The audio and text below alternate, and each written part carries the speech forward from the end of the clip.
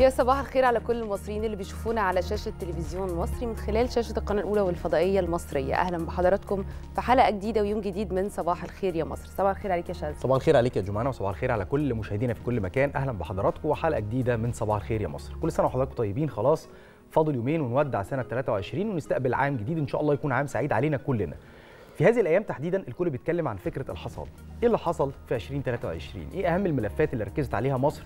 إيه اهم الانجازات كمان الفارقه على كل المستويات؟ الحقيقة إنه الأحداث اللي بتحصل في قطاع غزة والدور المصري المهم في دعم القضية الفلسطينية بيكشف حجم الجهود العظيمة للدبلوماسية المصرية خصوصا إنه مصر استضافت في أكتوبر من 2023 قمة القاهرة للسلام واللي كشفت للعالم كله حجم الجرائم الإسرائيلية اللي بترتكب ضد المدنيين في غزة وبناء موقف دولي داعم للقضية الفلسطينية خصوصا إن هذه القمة شارك فيها الأمين العام للأمم المتحدة أنطونيو جوتيريش وكمان قادة وممثلي 34 دولة وثلاث منظمات دولية وإقليمية وهي الأمم المتحدة والاتحاد الأفريقي وأيضا جامعة الدول العربية صحيح شاذلي الحقيقة انه هذه القمة تحديدا قمة القاهرة للسلام بجانب إنها خلت مصر أو مصر وضعت العالم أمام نفسه وكمان يمكن مصر الحقيقة قرارها الصارم والرشيد تجاه القضية الفلسطينية.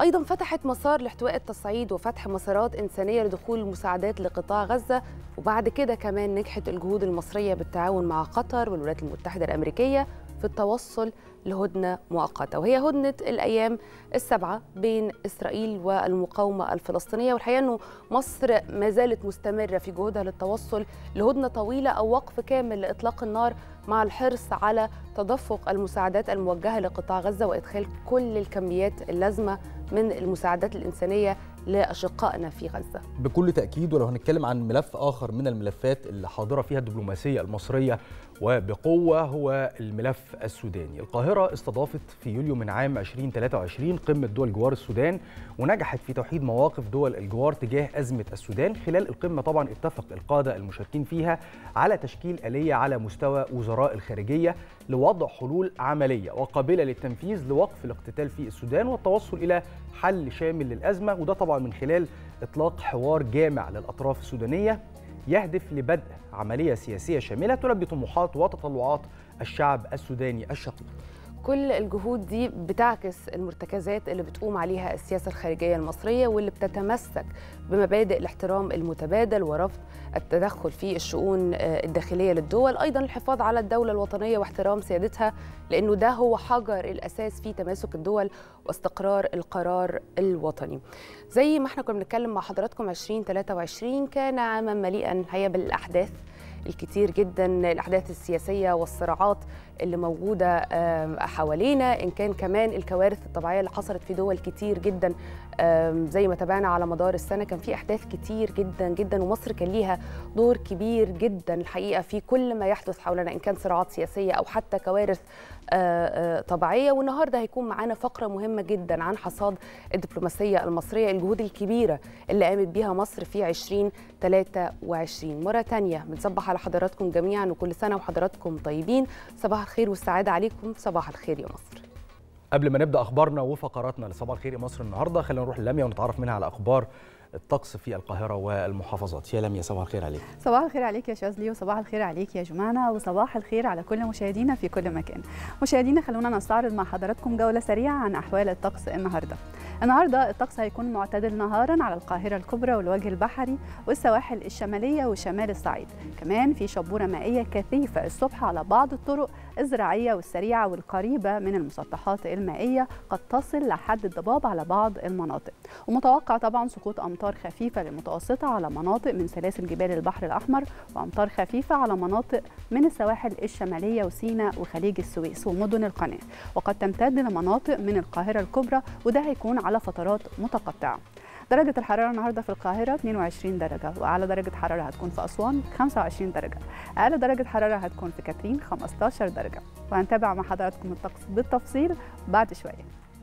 صبح على حضراتكم مرة تانية وكعادتنا في صباح الخير يا مصر. دايما بنبدأ معاكم بتذكرة بأهم الأخبار والأحداث اللي حصلت امبارح ومن أهمها دكتور مصطفى مدبولي رئيس الوزراء بعث برقية تهنئة لسيادة الرئيس عبد الفتاح السيسي بمناسبة قرب حلول العام الميلادي الجديد وعبر رئيس الوزراء عن أخلص التهاني القلبية وأصدق التمنيات للرئيس السيسي داعيا الله عز وجل أن يبارك جهوده ويسدد خطاه لاستكمال مسيرة العمل والتنمية الشاملة في بناء الجمهورية الجديدة وأن يعيد هذه المناسبة على الرئيس بموفور الصحة ودوام التوفيق وعلى مصرنا الغالية بالأمن والسلام والاستقرار. كمان من ضمن الأخبار اللي حصلت امبارح دكتور مصطفى مدبولي رئيس مجلس الوزراء استقبل بمقر الحكومة في العاصمة الإدارية السفير أحمد نايف الدليمي سفير العراق بالقاهرة. أكد رئيس الوزراء خلال اللقاء حرص مصر على دعم وتطوير العلاقات الوثيقة بين البلدين في كافة المجالات. أشار إلى العلاقات التاريخية اللي بتجمع بين الشعبين الشقيقين المصري والعراقي باعتبارهم طبعا من أصحاب أقدم الحضارات التاريخية اللي عرفتها البشرية تفاصيل هذه الأخبار وأخبار تانية هنعرفها في التقرير اللي جاي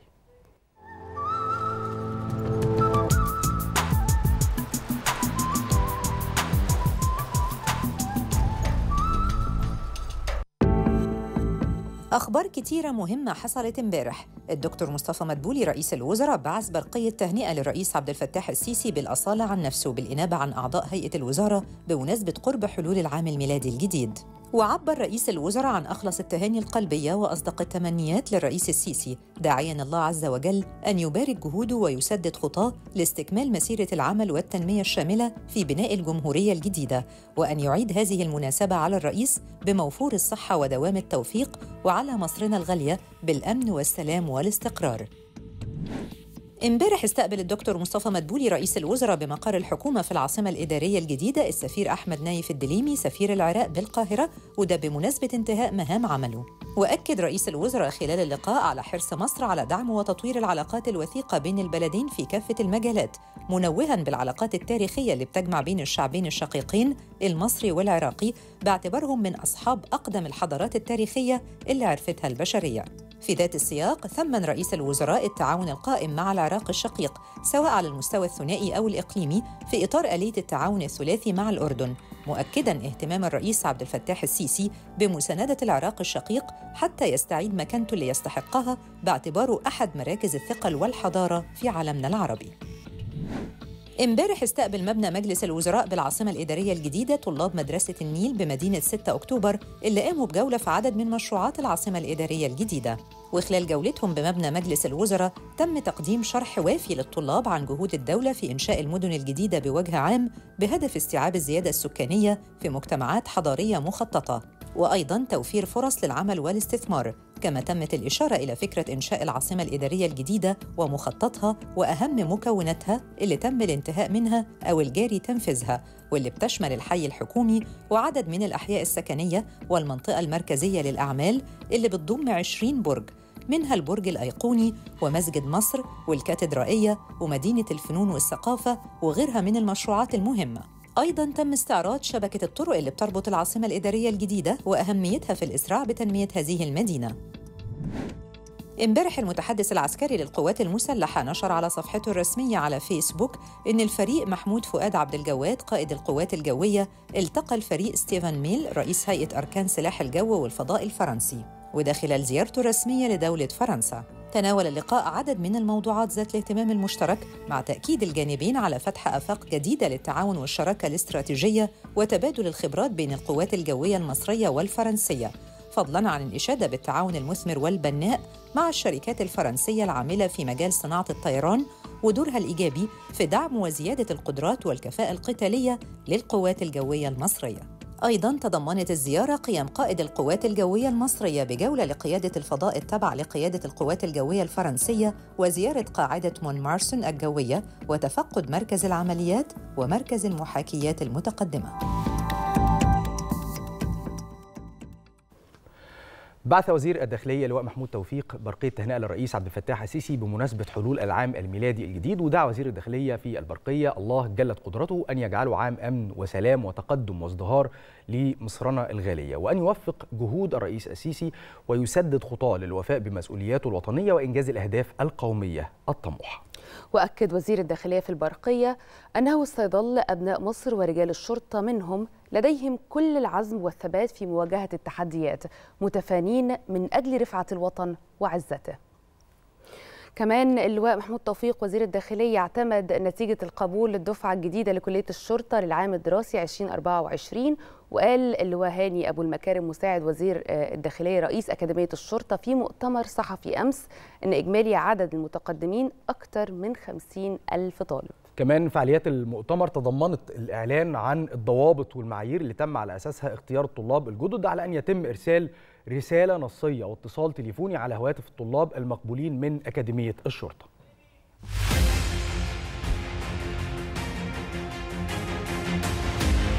أكاديمية الشرطة صرح علمي أمني وتدريبي متفرد. يقوم بإعداد ضباط الشرطة علميا وبدنيا وفقا لأحدث البرامج لمواجهة التحديات الأمنية مزودين بالقيم الأخلاقية والانضباطية. في هذا الإطار اعتمد السيد محمود توفيق وزير الداخلية نتيجة قبول دفعة جديدة من طلبة كلية الشرطة للعام الدراسي 2023-2024 وخلال المؤتمر الصحفي الذي عقد بأكاديمية الشرطة تم الإعلان عن ضوابط ومعايير القبول وفي مقدمتها الحيادية والموضوعية بهدف انتقاء أفضل العناصر من بين المتقدمين بدنيا وصحيا وعلميا ورياضيا.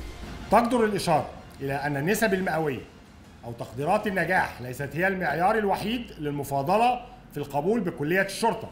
ولكنها أحد المعايير لتقييم الطالب للالتحاق بها. الطلاب الجدد الذين اجتازوا اختبارات القبول هم من طلبة الثانوية العامة والأزهرية وما يعادلها وخريجي وخريجات كليات الحقوق والتربية الرياضية وخريجي الجامعات المختلفة من التخصصات التي تمثل احتياجا لوزارة الداخلية. خضعوا جميعا لاختبارات علمية وبدنية وصحية تؤهلهم للالتحاق بكلية الشرطة. مع الاستعانة بتقنيات الحاسب الآلي في إجراء الاختبارات ورصد النتائج. خضع المتقدمين للعديد من الاختبارات للتحقق من توافر الشروط اللازمة لتولي أعباء الوظيفة الشرطية وتم الاستعانة بالتكنولوجيا الحديثة وتطبيقات الحاسب الآلي في إجراء الاختبارات ورصد نتائجها حيث يقوم الحاسب الآلي بترتيب الطلاب وفقا للأعلى في درجات الاختبارات ويتم قبول العدد المستهدف منهم بصورة آلية دون تدخل لأي عنصر بشري. يمثل الطلبة الجدد كافة المحافظات واجتازوا كافة الاختبارات المحددة بكفاءة وفعالية مكنتهم من الانضمام إلى هذا الصرح العلمي الأمني المتفرد.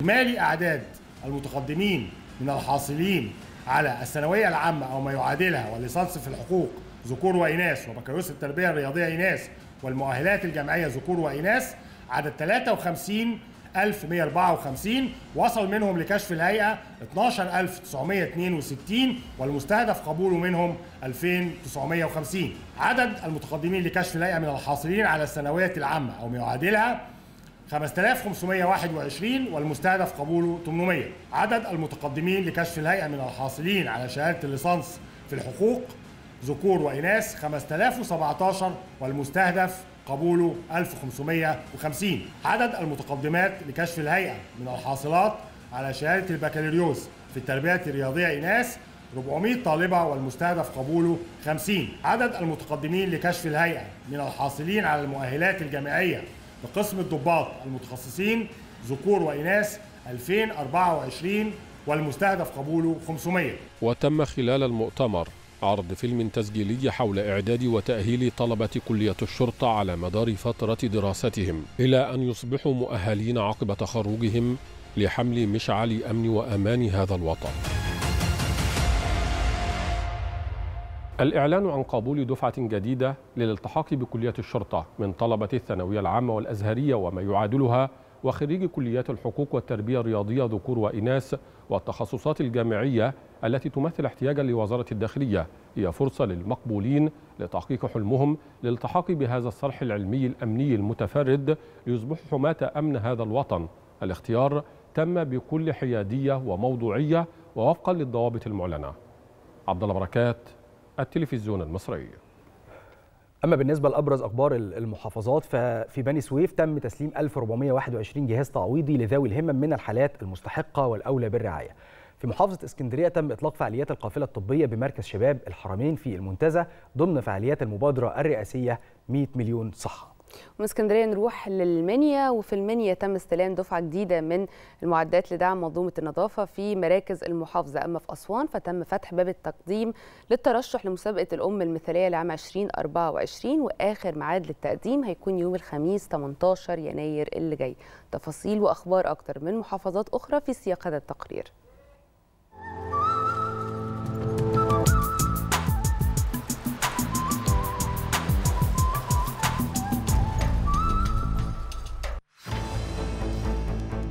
محافظات مصر شهدت امبارح أخبار كتيرة. في بني سويف أعلنت مديرية التضامن الاجتماعي عن تسليم 1421 جهاز تعويضي لذوي الهمم على مستوى قرى ومراكز المحافظة. وتم تحديد هذه الحالات المستحقة والأولى بالرعاية وفق أبحاث ميدانية بالتعاون مع جمعيات أهلية.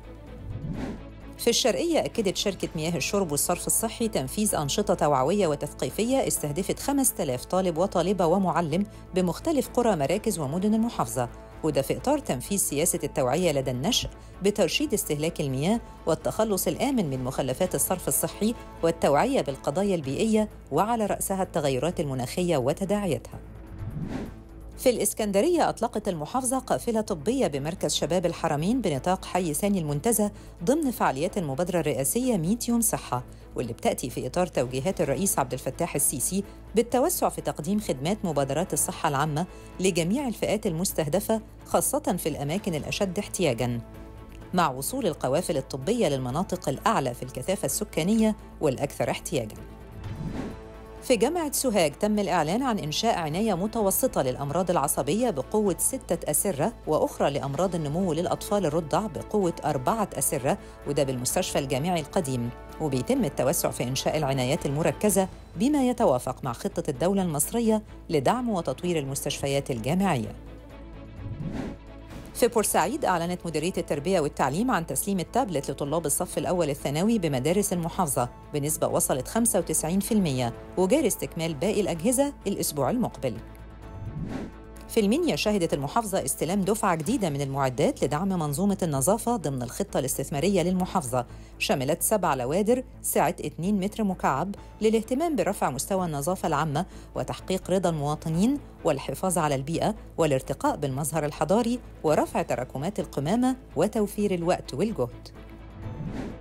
فأسوان أعلنت مديرية التضامن الاجتماعي عن فتح باب التقديم للترشح لمسابقة الأم المثالية لعام 2024 حتى يوم الخميس 18 يناير المقبل على أن يتم تلقي الطلبات بمقر الإدارات الاجتماعية في نطاق السكن لكل أم متقدمة للاشتراك وفقاً للشروط المنظمة ولن يتم استلام أي ملفات بعد هذا التاريخ. في الغربية أكدت مديرية التضامن الاجتماعي تنفيذ 2296 مشروع تنموي لأصحاب المشاريع متناهية الصغر والأسر الأولى بالرعاية من أبناء محافظة الغربية منذ بداية العمل في النشاط إلى الآن.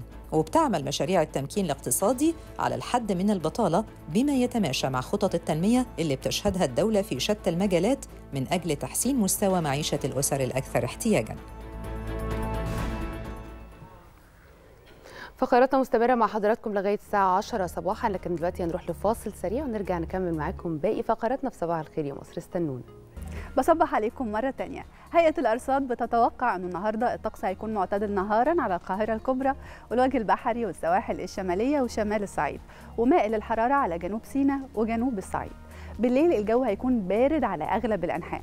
كمان في شبورة مائية الصبح وممكن تبقى كثيفة على بعض الطرق الزراعية والسريعة والقريبة من المسطحات المائية وقد تصل لحد الضباب على بعض المناطق. ومتوقع سقوط أمطار من خفيفة لمتوسطة على مناطق من سلاسل جبال البحر الأحمر وأمطار خفيفة على مناطق من السواحل الشمالية وسيناء وخليج السويس ومدن القناة. وقد تمتد لمناطق من القاهرة الكبرى وده هيكون على فترات متقطعة.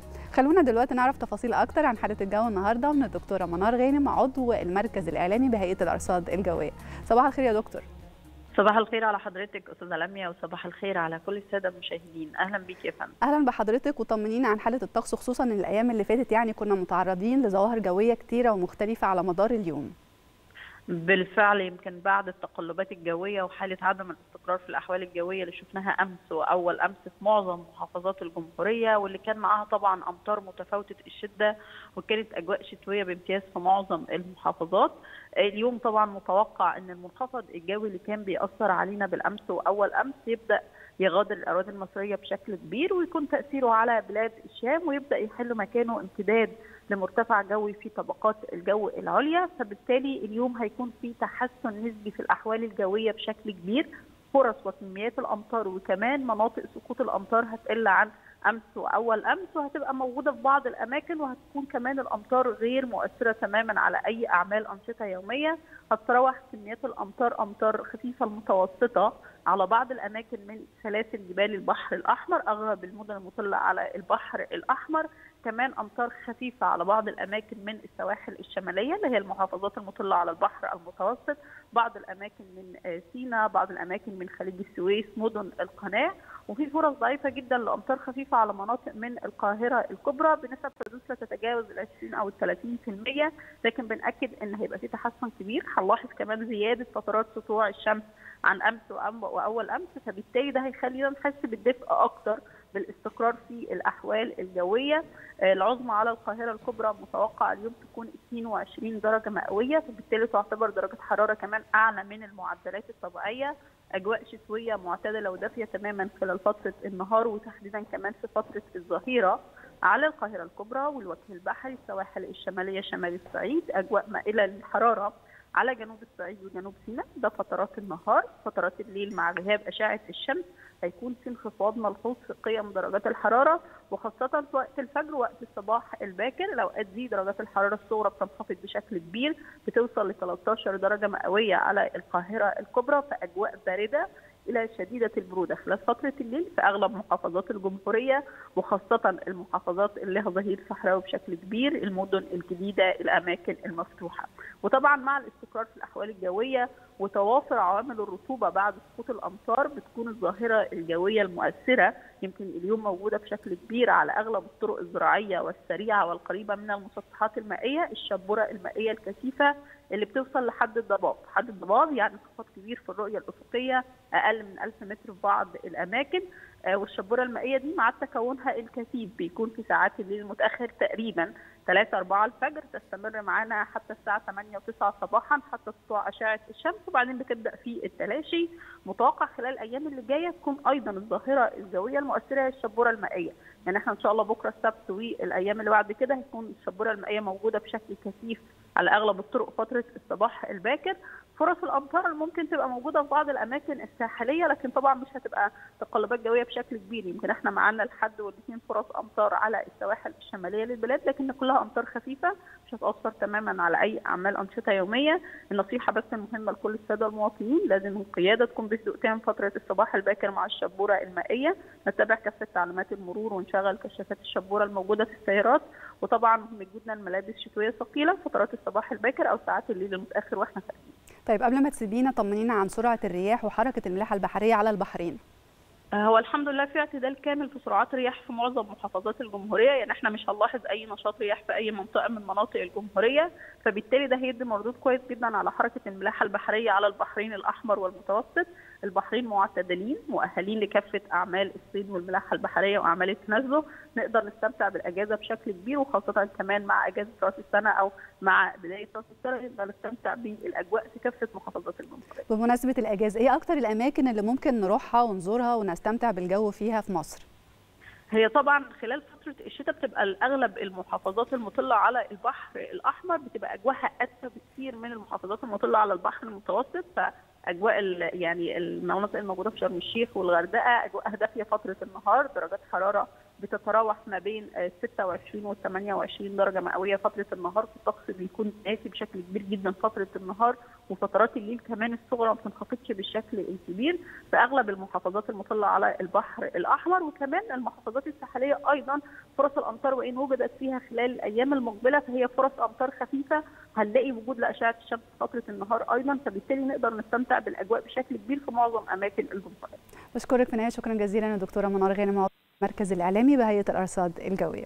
ودلوقتي مشاهدينا تعالوا نتابع درجات الحرارة المتوقعة النهارده ونبدأها بالقاهرة العظمى فيها 22 والصغرى 15 العاصمة الإدارية 23 14 اسكندرية 22 14 العلمين جديدة 21 13 مطروح 21 13 دمياط 21 15 بورسعيد 21 15 الإسماعيلية 22 13 السويس العظمى فيها 22 والصغرى 14 العريش 21 14 كاترين 15 5 وطابة 23 15 حلايب 23 19 شلاتين 25 18 شرم الشيخ 25 17 الغردقة 24 15 نروح للفيوم اللي العظمى فيها 22 والصغرى 12 بني سويف 22 11 الوادي الجديد 24 12 اسيوط 22 10 سوهاج 23 11 قنا 24 12 الاقصر 25 11 وأخيرا اسوان العظمى فيها 25 والصغرى 12 مشاهدينا دي كانت درجات الحرارة المتوقعة النهارده ودي كمان تعليمات هيئة الأرصاد الجوية. ومرة ثانية هنروح لجمانه وشاذلي نكمل معاهم فقراتنا. شكرا ليك يا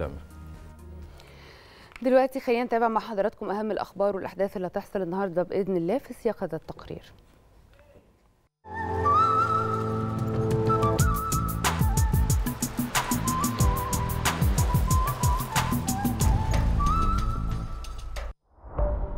بالنسبة للأخبار اللي هتحصل النهاردة فهيكون موضوع خطبة الجمعة بعنوان جريمة الاعتداء على المال العام والملك العام والحق العام وهي الخطبة الموحدة على جميع مساجد الجمهورية. وأكدت وزارة الأوقاف على جميع الأئمة بضرورة الالتزام بالنص الكامل لموضوع خطبة الجمعة وشددت على مواجهة أي خروج عن موضوع خطبة الجمعة بكل حسم أو تجاوز الوقت المحدد ليها والمقدر مسبقاً ب 15 دقيقة.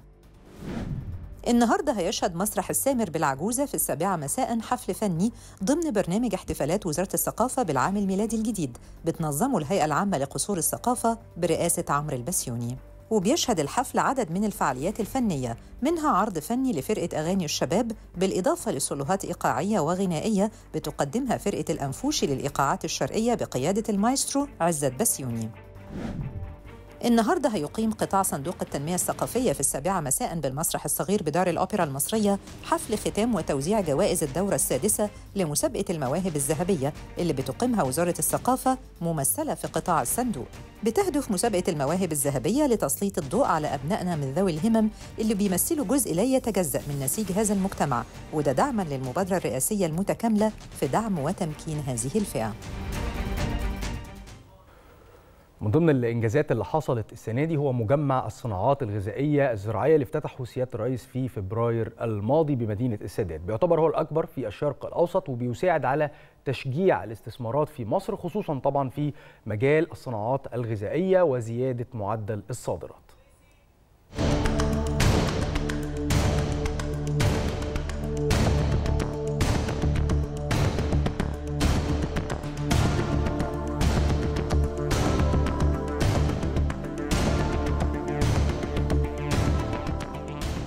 في 9 فبراير الماضي افتتح الرئيس عبد الفتاح السيسي المرحلة الثانية من المدينة الصناعية الغذائية سايلو فودز بمدينة السادات في محافظة المنوفية.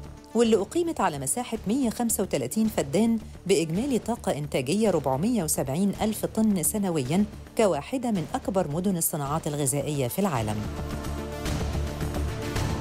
بتضم مدينة سايلو فودز العديد من المصانع الإنتاجية التكاملية زي مثلا مصنع البسكويت والمكرونة والمخبوزات ومصنع الألبان بجانب مصنعي الحلاوة والكرتون. وبيضم مصنع البسكويت بمدينة سايلو فودز خمس خطوط إنتاج بطاقة إنتاجية 240 طن يومياً من البسكويت تابع له اثنين مخزن للمنتج النهائي بطاقة تخزينية تصل ل 24 ألف طن. وبيضم المصنع خط الإنتاج البسكويت الويفر العادي بطاقة إنتاجية 14400 طن سنوياً. ده غير خط إنتاج بسكويت ويفر متنوع بطاقة إنتاجية تصل ل 10800 طن سنوياً. أيضاً بيضم المصنع خط إنتاج البسكويت بالعجوة بطاقة إنتاجية تبلغ 17 ألف طن سنوياً. وخط إنتاج بسكويت بالعجوة متنوع بطاقة إنتاجية 17 ألف طن سنوياً. وخط إنتاج بسكويت سادة ومملح بطاقة إنتاجية 9000 طن سنوياً بالإضافة لمطحن للدقيق ملحق به 15 صومعة بطاقة استيعابية تبلغ 70 ألف طن قمح. أما عن مصنع المكرونة فبيضم خمس خطوط إنتاج بطاقة إنتاجية 500 طن مكرونة يومياً. ملحق به ثلاث خطوط إنتاج كخط المكرونة القصيرة بطاقة إنتاجية 188 ألف طن سنوياً مع خط المكرونة الطويلة بإنتاج 28 ألف طن سنوياً وأيضاً خط النودلز بطاقة 3700 طن سنوياً.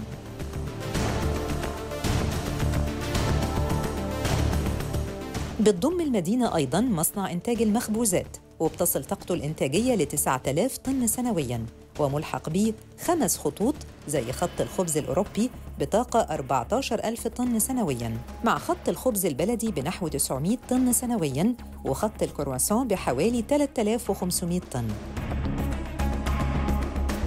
المدينة فيها مصنع للألبان تصل طاقته الإنتاجية ل 200 ألف طن سنوياً ملحق به تسع خطوط إنتاج مجهز بأحدث المعدات. وبتبلغ الطاقة الإنتاجية لخط الجبن الأبيض نحو 100 ألف طن سنوياً وخط اللبن المعقم بطاقة إنتاجية 10,000 طن سنوياً بجانب 600 طن سنوياً لخط السمنة. وأيضاً مصنع الحلاوة والطحينة اللي بيتضمن خمس خطوط إنتاج بطاقة إنتاجية 16 ألف طن سنوياً.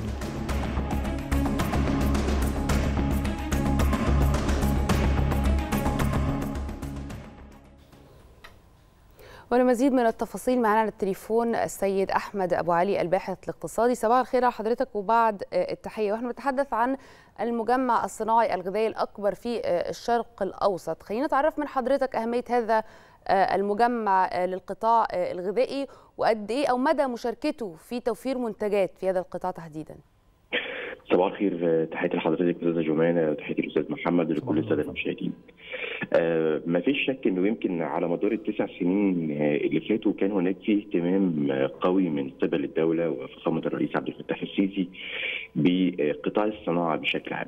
ويمكن قطاع الصناعات الغذائية واحد من أهم القطاعات الصناعية يمكن اللي الدولة اولتها اهتمام كبير للغاية خلال الفترة الماضية لأنه هذا القطاع بيستطيع أو تستطيعي من خلاله كدولة وكاقتصاد إن انت تحققي قيمة مضافة بأكثر من شكل. القيمة المضافة الأولى يمكن في إطار توجه الدولة لاعاده تنمية قطاع الزراعة بشكل عام فبالتالي النهارده عندنا إنتاج كبير جدا من المحصول الاستراتيجي وهو محصول القمح.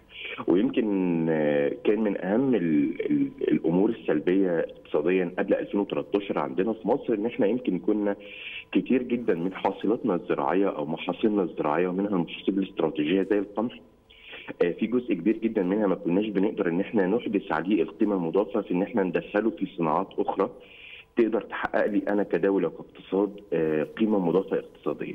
هذه المجمعات الصناعية يمكن قدرت إن هي تحقق الفارق ده بان إحنا النهارده بنستفيد من الميزات النسبية اللي بقت موجودة عندنا في قطاع الزراعة. بنعيد العديد من المنتجات الزراعية وعلى رأسها سلع مهمة زي القمح إن إحنا ندخلها في صناعات أخرى مكملة.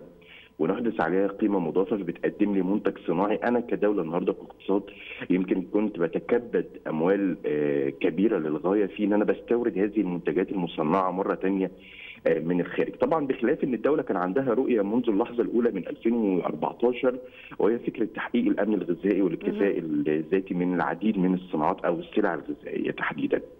وبالتالي النهارده ده كمان كان رد واضح وقوي على كل الألسنة والشائعات اللي يمكن كانت بتقول إنه الدولة ماشية في توجه معين واهتمام بقطاعات اقتصادية معينة وإن إحنا مهملين لقطاعات زي الصناعة وخلافه ده يمكن كان رد قوي جدا إنه الدولة لديها خطة واضحة بشكل متوازي في كل الاتجاهات الاقتصادية ومن أهمها طبعا قطاع الصناعات. بخلاف طبعا انه مثل هذه القطاعات أو الصناعات تحديدا والمجمعات الصناعية بتقدر أستاذ جمعينا إن هي النهارده توفر للدولة وتساهم في علاج مشكلة اجتماعية مهمة جدا وهي مشكلة البطالة لأن هي بتوفر فرص عمل دائمة بشكل مباشر وغير مباشر لأبناء المناطق اللي بتقام فيها مثل هذه المجمعات وأيضا المناطق المجاورة. وبالتالي النهارده ده كمان بيبقى عامل مهم جدا أنا كدولة أقدر النهارده إن أنا اتصدى لمشكله وتحدي كبير جدا زي تحدي عظيم. بطل. طيب أنا عايز أعرف من حضرتك أستاذ أحمد تقييمك المبدئي لإنتاج هذا المجمع في البداية طبعا وبكل تأكيد إحنا دايما بيكون عندنا خطة في أي مشروع الدولة بتعمله فكرة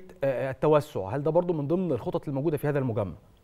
بالتأكيد طبعا يا أستاذ محمد لأنه أنت كدولة في تحديدا في يعني الصناعات أو المجمعات الصناعية بشكل عام والصناعات الغذائية على وجه التحديد بيبقى لك مجموعة من الاستراتيجيات، أول هذه الاستراتيجيات إن أنت كدولة بيبقى عندك توجه إن أنت في فجوة في السوق المحلي وفي طلب محلي على هذه المنتجات لأن حضرتك يمكن خلال التقرير اللي عرض من دقائق قليلة المصنع ده بينتج أكثر من مجموعة أو أكثر من سلعة مصنعة سواء فيما يتعلق بالبسكويت أو حتى فكرة الجزء المتعلق بالخبز والمخابز. فبالتالي النهارده أنا عندي احتياج محلي فأنا كدولة بحاول إن أنا أوفر هذا الاحتياج وأسد هذا الاحتياج من خلال هذا الإنتاج. مع الوقت بيبقى عندي استراتيجية مهمة جدا اقتصادية والتنمويه هي فكرة الإنتاج من أجل التصدير. وبالتالي النهارده أنا كدولة ببتدي النهارده أوسع من خطوط الإنتاج ببتدي النهارده إن أنا بيبقى لي تواجد في التصدير أو في الصادرات من هذا النوع من الصناعات تحديدا. وطبعا انعكاساته قوية جدا اقتصاديا لأن أنا النهارده بدخل نقد أجنبي بوفر قدر كبير جدا من النقد الأجنبي اللي أنا كدولة كنت بوجهه ان أنا بستورد بيه نفس السلعة دي علشان أسد حجم الاحتياج المحلي اللي أنا مش قادر أوفره بشكل تام. فبالتالي النهارده لما بنشئ مثل هذه المجمعات أنا بعمل عملية إشباع تام للطلب المحلي وبالتالي مع التوقيت بقى عندي استراتيجية متوسطة وطويلة الأجل إن أنا أتجه للانتاج من أجل التصدير. طيب أستاذ أحمد الحقيقة زي ما حضرتك ذكرت نقطة التصدير تحديدا. المجمع من المفترض إنه يصدر أكثر من 80% من من إنتاجه. ايا كانت النسبة فكرة التصدير في حد ذاتها تتطلب خبرة عالية جدا جودة عالية جدا تكنولوجيا أيضا عالية جدا. لاي مدى الكوادر اللي بتعمل في هذه المصانع في مجمع الغذائي سايلو فودز لأي مدى هي مدربة ولأي مدى حتى يمكن الأجهزة اللي موجودة تلبي يمكن جودة أو بالمقارنة بالمنتجات العالمية. ده سؤال مهم جدا بحيي حضرتك عليه أستاذ جمانة لأنه يمكن إحنا ما كانتش فكرتنا كدولة إن إحنا يبقى عندنا مجمعات صناعية فقط. ويمكن حضرتك لو لاحظتي تذكري في توقيت افتتاح هذا المجمع سيادة الرئيس كان قال حاجة مهمة جدا إنه إحنا مش بس هدفنا إن إحنا يكون عندنا مجمعات صناعية في صناعات مختلفة بتنتج سلع مختلفة لكن كمان إحنا يهمنا مدى قدرة هذه المنتجات على تحقيق التنافسية في الأسواق الخارجية. هذه التنافسية لا تتحقق إلا بالاهتمام بعامل الجوده بعنصر بشري مدرب ومؤهل ويمكن ده اللي اتعمل في هذا المجمع تحديدا إنه قبل الإعلان عن الافتتاح الفعلي وإنه هذا المجمع يبقى عنده القدرة إنه يضخ إنتاجه في الأسواق المحلية النهارده العمالة الموجودة دي دربت بشكل مكثف للغاية بالتعاون سواء خبرات تابعة للجهات اللي أقيم يعني كلفت بإنشاء هذا المجمع أو حتى الجهات الاستثمارات الأجنبية اللي يمكن كانت شريك في تدشين هذا النوع من الصناعات. النهارده إحنا نقلنا نو هاو للعمالة المصرية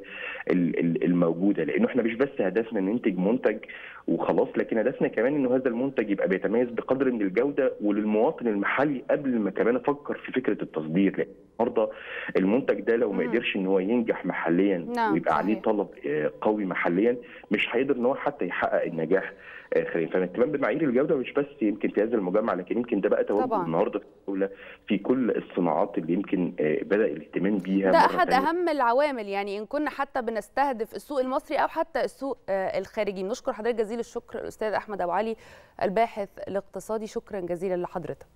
طبعا أمطار غزيره ورعدية شهدتها بعض المناطق في المحافظات المختلفة. تم رفع درجة الطوارئ وانتشار معدات شفط المياه بالشوارع. ده طبعا لتسهيل حركة المواطنين. كمان في بعض المحافظات عطلت الدراسة امبارح.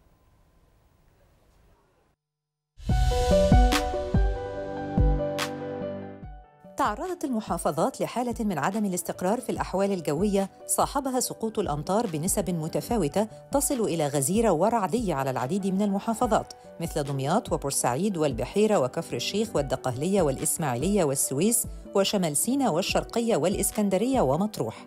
الأجهزة التنفيذية بالمحافظات وشركات مياه الشرب والصرف الصحي أعلنت رفع حالة الطوارئ تحسباً لأي تداعيات ناتجة عن تلك الموجة وكذلك رفع تجمعات مياه الأمطار في بعض المناطق بالشوارع حيث إن هناك تعاوناً وتنسيقاً مستمراً بين معدات الأحياء والمراكز والمدن والوحدات المحلية وشركات مياه الشرب والصرف الصحي والأجهزة والجهات التابعة لوزارة الموارد المائية والري لمواجهة حالة الطقس السيء. كما تقرر تعطيل الدراسة أمس بجميع المدارس في ثلاث محافظات هي الدقهلية، الغربية وكفر الشيخ. وذلك حرصاً على سلامة الطلاب نظراً لتوقعات هيئة الأرصاد الجوية باستمرار تعرض هذه المحافظات لموجة من الطقس السيء والأمطار الغزيرة وسوء الأحوال الجوية. وأعلنت وزارة التنمية المحلية أن غرفة العمليات وإدارة الأزمات بالوزارة أكدت على متابعتها الدائمة بالوضع في المحافظات من أجل التنسيق المستمر مع غرف العمليات المركزية بها للتدخل السريع لمواجهة أي طوارئ والتنسيق مع غرفة العمليات المركزية بمجلس الوزراء في هذا الشأن لسرعة التعامل مع أي أحداث طارئة.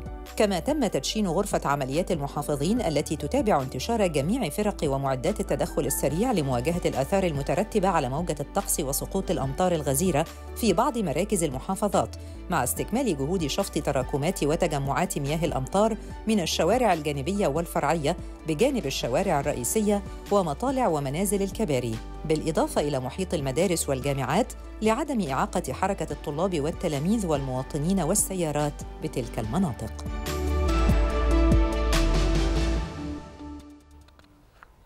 معنا التليفون دلوقتي المهندس خالد نصر رئيس شركة مياه الشرب والصرف الصحي بالدقهليه صباح الخير على حضرتك يا فندم. يعني لو تطلعنا على الوضع اللي بتشهده المحافظة حاليا منذ بدء طبعا موجة الطقس السيء وسقوط الأمطار بكثافة.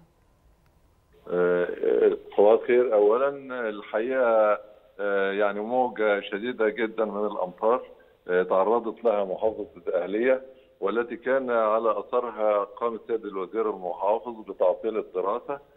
الحقيقة في تعاون وثيق ويعني بين الوحدة المح... بين الوحدات المحلية و شركة مياه الشرب والصرف الصحي أدت لمتابعة هذه الموجة وطبعا بالفعل تم أصلا مرفوع درجة الاستعداد ولكن شركات شركة الميه والمحافظة تعاونت في سرعة التعامل وكسح المياه من الشوارع ورفع درجة الاستعداد القصوى في محطات رفع الصرف الصحي أدت الحمد لله إلى يعني وصولنا لمرحلة الأمان بالنسبة لهذه الموجه. يعني حتى الآن مفيش أي منطقة في المحافظة فيها تكدسات أو فيها ازدحامات مرورية نتيجة وجود مياه الأمطار. الحمد لله يا فندم امبارح أقصى حاجة كانت امبارح أول امبارح الحقيقة من من بعد صلاة الفجر والسيارات كانت منتشرة في الشوارع. طبعا الموجه كانت صعبة جدا. أربع ساعات متواصلة من المطر الغزير. أكبر كمية مياه أنا شاهدتها على مدار خمس أعوام. هي كانت فترة المطر اللي فاتت دي. كل شكر الحقيقة كان في تعاون كبير جدا بين الشركة وبين أجهزة المحافظة بسيارات الكسح ومعدات الشفط والتسليك. لأنه طبعا أنت عارف أثناء المطرة بتنزل بعض الرواتب في صحيح إحنا بدأنا نتابع ده أصلا كمان وجود العربيات دي موجودة من قبل حدوث موجة الأمطار استعدادا ليها. كل الشكر ليك المهندس خالد نصر رئيس شركة مياه الشرب الشرب والصرف الصحي بالدقهلية. في نفس السياق أيضا. خلينا نطمن مع حضراتكم على الوضع في الغربية. معنا على التليفون المهندس حمدي شطه رئيس شركة مياه الشرب والصرف الصحي بالغربية. صباح الخير على حضرتك يا فندم. بعد التحية أيضا أبرز الاستعدادات ورفع حالة التأهب والوضع أيضا في المحافظة الآن. صباح الخير يا أستاذة جمانة وصباح الخير عليك يا أستاذ محمد وعلى مستمعينكم ومشاهدينكم. إحنا في, يعني أنا مش هضيف كتير زي على ما أخويا الكبير المهندس خالد من الدقهلية. إحنا في الغربية برضو بنعمل نفس الموضوع. إحنا عندنا أماكن بنبقى عارفين دايما بيبقى فيها تجمعات مطر وبيبقى فيها سيولة مرورية بيحصل إعاقة لو حصل فيه مية. إحنا حاطين الكلام ده على GIS مركزين العربيات بتاعتنا. أول ما بيجي لنا تحذير من الأرصاد الجوية العربيات دي كلها بتنتشر. وبيبقى في تنسيق كامل ما بيننا وما بين الوحدات المحلية والأجهزة المحافظة. وبنبتدي أول ما يجي لنا البيان حتى من قبلها بنبقى منتشرين. وطبعا الغربية الحقيقة أنا يعني بشيد بيها وبشيد من منظومتها. ومعالي المحافظ يعني مجتهد جدا.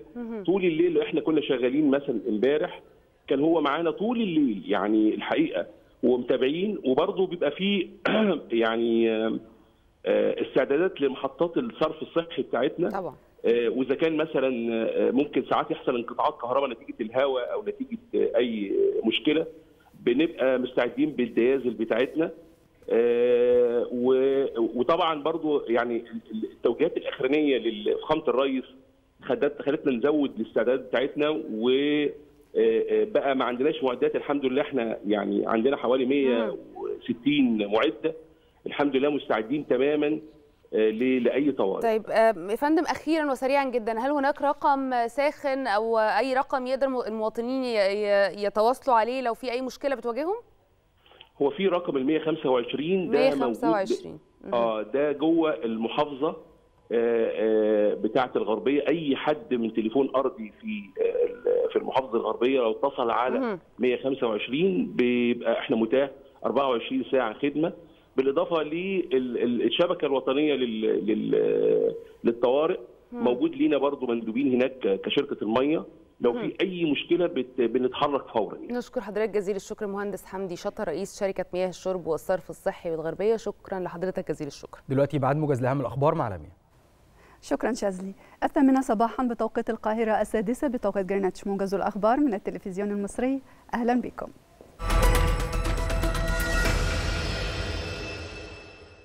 أكد رئيس مجلس الوزراء مصطفى مدبولي على الأولوية التي تمنحها الدولة لدعم مشروعات المدارس الفنية وكذلك الجامعات التكنولوجية. جاء ذلك خلال اجتماع عقده مدبولي مع شركة سويدي إلكتريك لمتابعة موقف مشروعات الشركة في مجال النهوض بمجالي التعليم الفني والتكنولوجي. وأشار رئيس الوزراء إلى أنه يمكن أن يكون لمصر ميزة نسبية بتصدير خريجي هذا القطاع للخارج مؤكدا في الوقت نفسه تقديم الدعم الكامل من الحكومة للتوسع في المدارس الفنية والجامعات التكنولوجية. وعلى جانب آخر اطمأن رئيس الوزراء على موقف مشروع سد جوليوس نيريري بدولة تنزانيا والذي يتم تنفيذه من خلال التحالف المصري المقاولون العرب السويدي إلكتريك مشيرا إلى اهتمام الرئيس عبد الفتاح السيسي بالمتابعة الدورية لهذا المشروع المهم. استشهد وأصيب عشرات الفلسطينيين غالبيتهم من الأطفال والنساء جراء تواصل قصف قوات الاحتلال الإسرائيلي برا وبحرا وجوا على مناطق متفرقة من قطاع غزة. واستهدف الاحتلال عددا من منازل الفلسطينيين وسط وجنوب قطاع غزة ووصلت طائرات الاحتلال الحربية ومدفعيته قصف مناطق واسعة من محافظة خان يونس وتحديدا المنطقة الشرقية منها. وفي مدينة رفح جنوبا استشهد وأصيب عشرات المواطنين إثر قصف الاحتلال منزلا في مخيم الشابورة بعد أن استشهد ما لا يقل عن 20 شخصا إثر قصف إسرائيلي آخر استهدف أحد المنازل في رفح بقطاع غزة.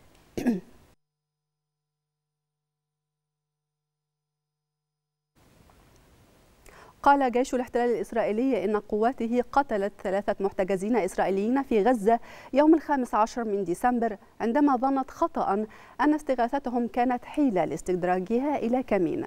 وخلص جيش الاحتلال إلى أن الجنود تصرفوا بشكل صحيح بحسب أفضل تقدير لهم للأمر.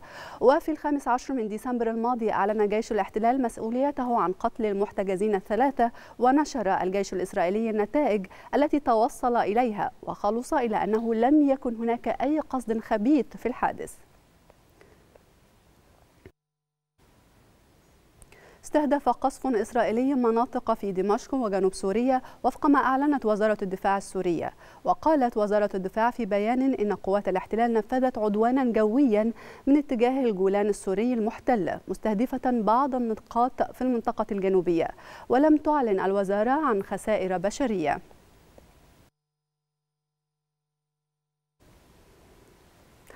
أمر الرئيس الفنزويلي نيكولاس مادورو من أكثر من 5600 عسكري بالمشاركة في مناورة دفاعية ردا على إرسال بريطانيا سفينة حربية إلى المياه قبالة جوانا وقال مادورو إنه أمر بتنفيذ عملية مشتركة ذات طبيعة دفاعية ردا على استفزاز المملكة المتحدة وتهديدها للسلام وسيادة بلاده على حد وصفه. وكانت بريطانيا قد أعلنت في وقت سابق أنها ستحول مسار سفينة HMS Trent إلى جويانا في ظل النزاع بين الدولة الواقعة في جنوب أمريكا الجنوبية وفنزويلا المجاورة بشأن منطقة إيسيكيبو الغنية بالنفط.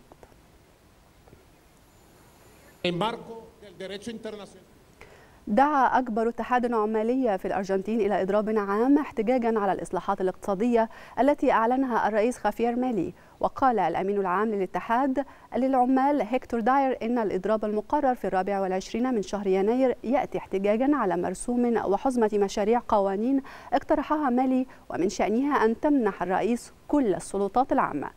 ويعقد الكونغرس الأرجنتيني جلسة استثنائية هذا الأسبوع للنظر في حزمة مشاريع القوانين المطروحة لتفعيل المرسوم الذي كشف عنه الأسبوع الماضي وسيدخل حيز التنفيذ إلى إذا لم يرفضه المشرعون.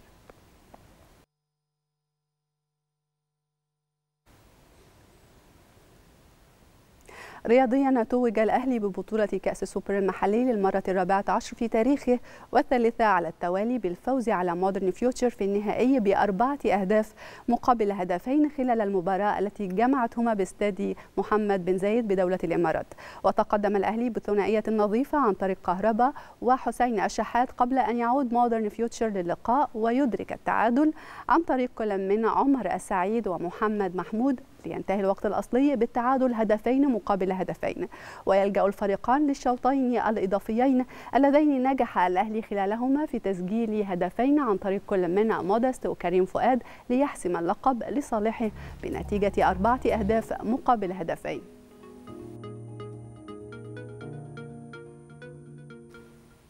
مشاهدينا انتهى موجز الثامنة ونعود لاستكمال باقي فقرات صباح الخير يا مصر بعد الفاصل. منذ اللحظة الأولى لاندلاع الحرب في غزة وجه سيادة الرئيس عبد الفتاح السيسي بتكثيف اتصالات مصر مع جميع الأطراف الإقليمية والدولية لتهدئة الأوضاع في غزة مع التشديد على رفض مصر أي محاولات لتهجير الفلسطينيين وتصفية القضية الفلسطينية. خلينا نعرف تفاصيل أكثر عن الجهود المصرية لتهدئة الأوضاع في قطاع غزة من دكتور ضياء حلمي عضو المجلس المصري للشؤون الخارجية. صباح الخير على حضرتك يا دكتور. منورنا صباح, صباح الخير يا فندم. صباح, صباح الخير على حضرتك. أهلا بحضرتك. طيب يعني خلينا نبدأ مع حضرتك من حيث يعني وصل قطار الجهود المصرية تجاه القضية الفلسطينية وتحديدا ما يحدث في قطاع غزة والحديث عن ورقة مصرية أو عن مبادرة مصرية لحل الوضع في قطاع غزة.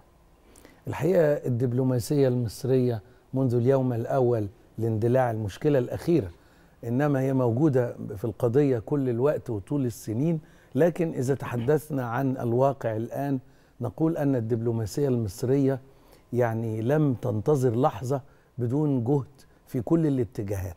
ولكن مهم جدا أن نعلم ونضع الضوء على المواقف الأخرى والمواقف المتشددة لهذه المفاوضات. مصر تقدم اقتراحا تلو الآخر وترى بمنتهى الواقعية السياسية أنه يجب وقف إطلاق النار إدخال المساعدات. هذا منذ اليوم الأول صحيح. للمشكلة في 7 أكتوبر ووجدنا أن هناك تشددا كبيرا. تضييع الوقت مسألة خطيرة ويجب على الإدارة الفلسطينية بأصواتها المتعددة أن تصل إلى صوت فلسطيني واحد لأننا نرى أشياء على الأرض تثير وتعطي الفرصة تثير الأسئلة وتعطي الفرصة لإسرائيل لتفعل ما تفعل صحيح الآن. عشان كان السؤال في البداية ماذا لو أتت هذه الحرب وفي موقف فلسطيني موحد؟ لا كان الأمر هيختلف كثيرا ده هناك مفاجآت كبيرة. م. يعني صحيفة لوفيجارو الفرنسية صرحت بأن خالد مشعل وهو قيادي حماس صرح بأنه منفتح وحماس منفتحة على الاعتراف بإسرائيل. وهذا تغيير في المنهج كبير. ظهرت مفاجأة أخرى منذ أيام. ولكن الحقيقة المتابع للتحليل السياسي لا يتفاجأ كثيرا. م. يعني أنا, أنا لا أتفاجأ الحقيقة. إنما هي بالمعنى اللغوي تصلح مفاجأة.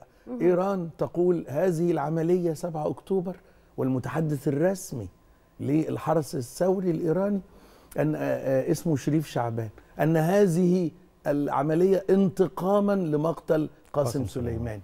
ثم عاد رئيس الحرس الثوري ونفى ذلك. ثم عاد وقال حزب الله حسن نصر الله هذه عملية فلسطينية. الآن هل هذا وقت للتنازع على هذه الفكرة وفي كل وفي الآخر من يدفع الثمن هو المواطن الفلسطيني. بالظبط وحضرتك زي ما تفضلتي من يدفع الثمن أخيرا؟ الطفل الفلسطيني المواطن الفلسطيني يجب أن يكون هناك حرص. اليوم الجمعة ستستقبل مصر وفدا من حماس للمقترح المصري الذي قامت مصر بتعديله مرة أخرى حتى يصبح عليه توافق.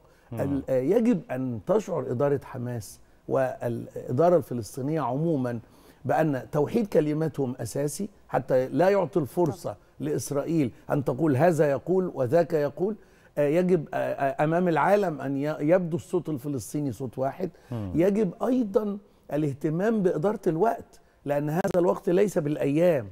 الآن يجب أن يكون بالساعات. تفرق طبعا. بالساعات بس على خلينا الأقل. نعرف من حضرتك عشان برضو المشاهدين يبقوا متابعين معانا المقترح المصري ونقاط الخلاف اللي عدلت بعد ذلك.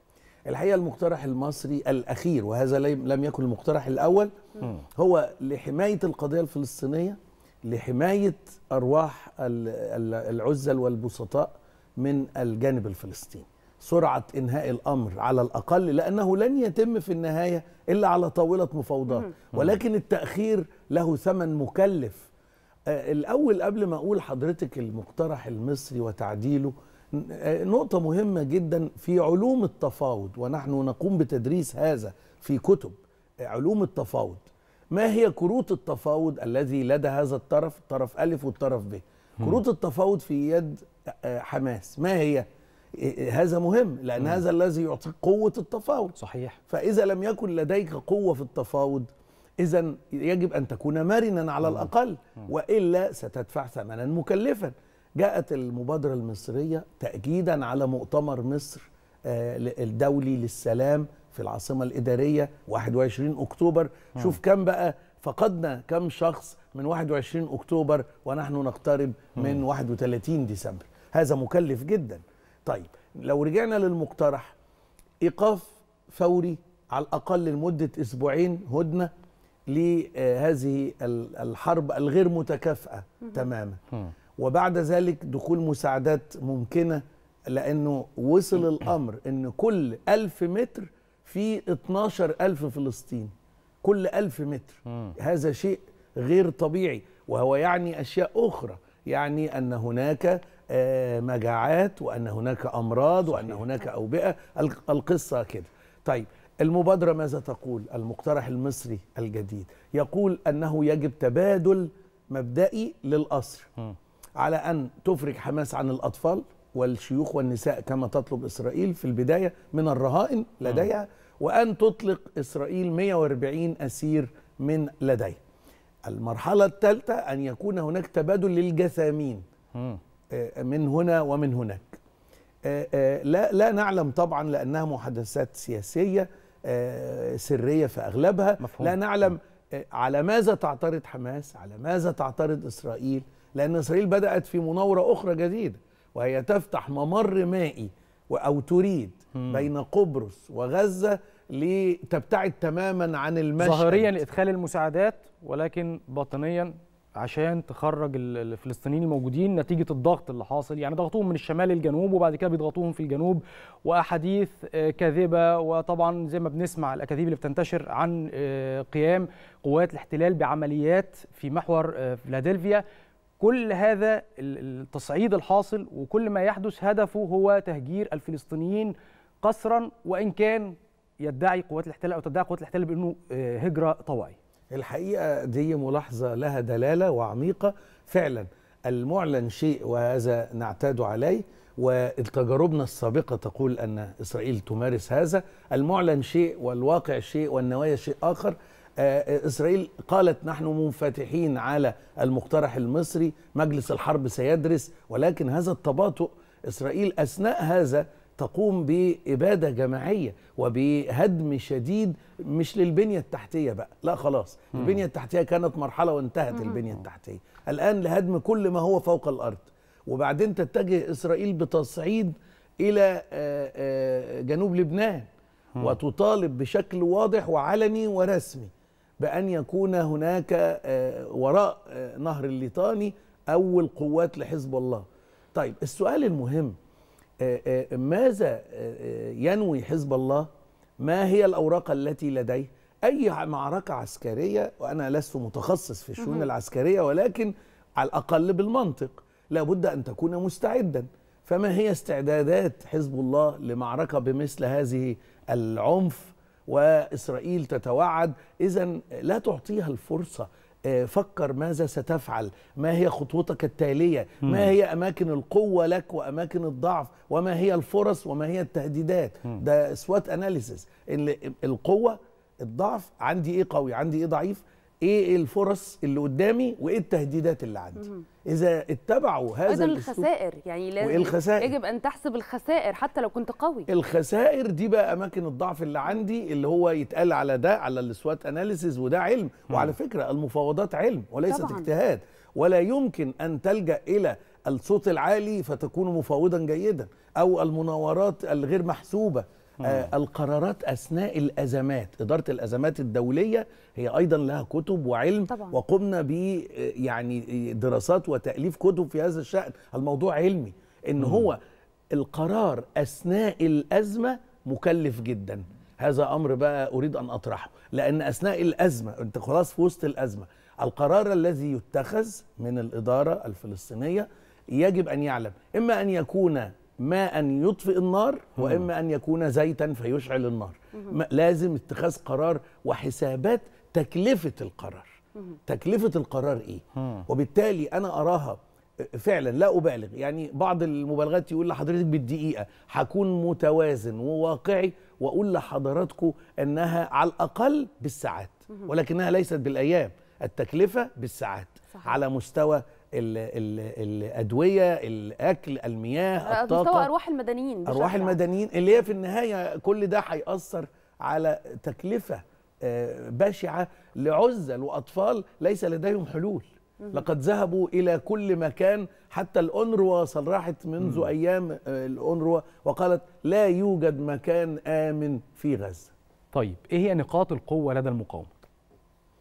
الحقيقة أنا الآن أراها آه، بواقعية برضو عشان مم. الناس بتتصور آه، أشياء آه، لا أريد أن أخوض فيها يعني تتصور أنك حينما تتكلم ب- بأمل شديد وإن كان وهميا فأنت متفائل مم. وإذا تحدثت عن الواقعية فأنت متشائم بعيدا عن التحليل السياسي والاقتصادي بعيد عن التفاؤل والتشاؤم لا يوجد مسألة اسمها أعطيني املا املا الحماس. الشعبوي الواقع. والتعاطف شيء والواقع شيء بالظبط والمفاوضات مع دولة زي إسرائيل هي تحتاج إلى مفاوض على أسس علمية يدرك تماما ويدرس نفسية الآخر مم. أسلوبه في التفاوض صحيح. حتى ما كيف تفوز عليه في مفاوضات طبعاً. وأنت لا تعلم كيف يم- يملك كل الخيوط زي ما بنقول كل الخيوط أماكن القوة لدى المقاومة الفلسطينية ونحن نسميها المقاومة ولكن إسرائيل تسميها حماس وتضع أهدافا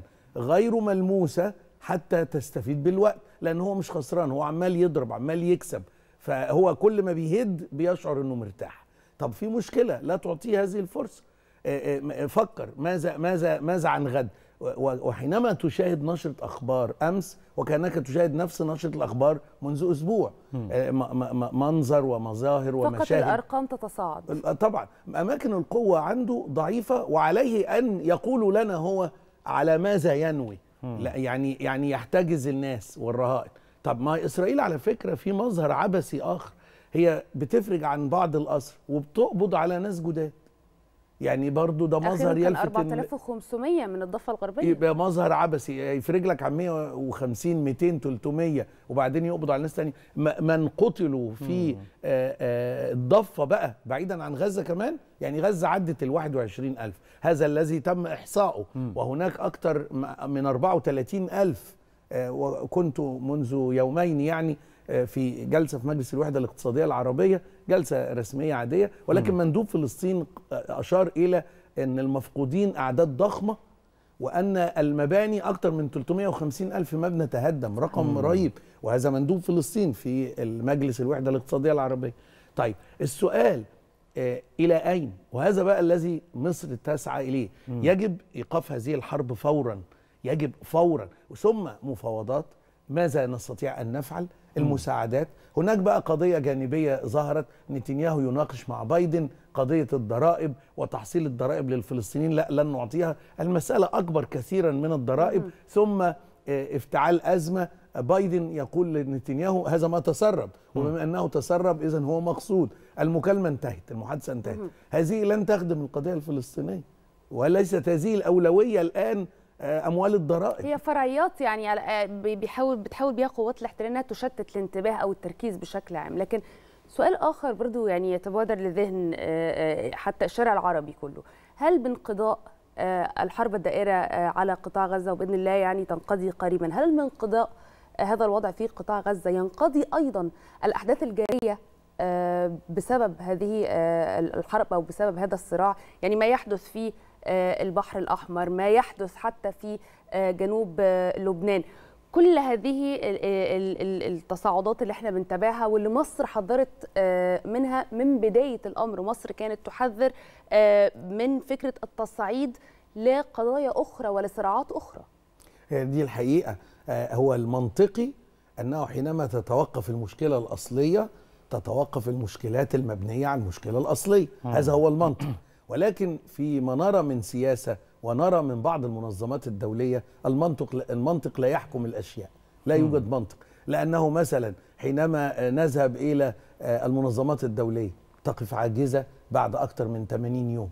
هذا يعطينا أن هناك شرخا كبيرا في المنظمات وقد صرح بهذا آه، لافروف وزير خارجية روسيا منذ أيام في القمة العربية الروسية أو المؤتمر آسف المنتدى العربي الروسي في مراكش. قال أن هناك شرخا كبيرا وطبعا هو ده أمر منطقي. هناك شرخ. السؤال هذه ال- التداعيات الجديدة وهي تؤثر على الملاحة العالمية وتؤثر على التجارة العالمية في باب المندب وفي البحر الأحمر. وحتى هذا الطريق الطويل الضخم ال- عبر رأس رجاء الصالح مكلف في الوقت ومكلف في المال. رسوم التأمين أصبحت ضخمة جدا على البضائع. في عالم يعاني من تضخم اقتصادي بالفعل. فكيف يحتمل تضخما جديدا؟ إذا المنطق أن تقف حرب غزة حكومة آه، في فلسطينية هناك قبول مبدئي وأخشى أن يكون مناورة سياسية إسرائيلية للسلطة الفلسطينية. حتى أن هناك أصوات فلسطينية تطالب بحكومة جديدة قوية فلسطينية موحدة وأن تكون ممثلة فيها حماس. لكن إسرائيل يمكن أن تذهب بعيدا وتقول نحن نريد القضاء على حماس ولا يجب أن تدخل في حكومة ولكن حماس في النهاية هي ليست جماعة فقط في مكان معين نستطيع القضاء عليه وبالتالي هذا هدف فضفاض إسرائيلي يسمح لإسرائيل بالاستمرار والتجاوز إلى ما لا نهاية في انتظار القضاء على حماس. إحنا طبعا بنشكر حضرتك جزيل الشكر على هذه ال- الإيضاحات وعلى الرؤية الشاملة أو توضيح الرؤية الشاملة اللي قامت بها مصر خلال الفترة الأخيرة. شكرا جزيلا دكتور ضياء حلمي عضو المجلس المصري للشؤون الخارجية. شكرا. لحضرتك شكرا. مشاهدينا فاصل سريع ونرجع نكمل مع حضراتكم باقي فقراتنا في صباح الخير يا مصر. بنصبح على حضراتكم واهلا بيكم وموجز لأهم الأخبار الرياضية المحلية والعالمية. ونبدأ نشرتنا مع النادي الأهلي اللي حصد بطولة السوبر المصري للمرة ال 14 بعد ما حقق فوز درامي على مودرن فيوتشر بنتيجة 4-2 في نهائي بطولة كأس السوبر المصري في المباراة اللي جمعتهم باستاد محمد بن زايد بالإمارات. وسجل رباعية الأهلي كهربا وحسين الشحات ومودست وكريم فؤاد. مودرن فيوتشر سجل فيه عمر السعيد ومحمد محمود.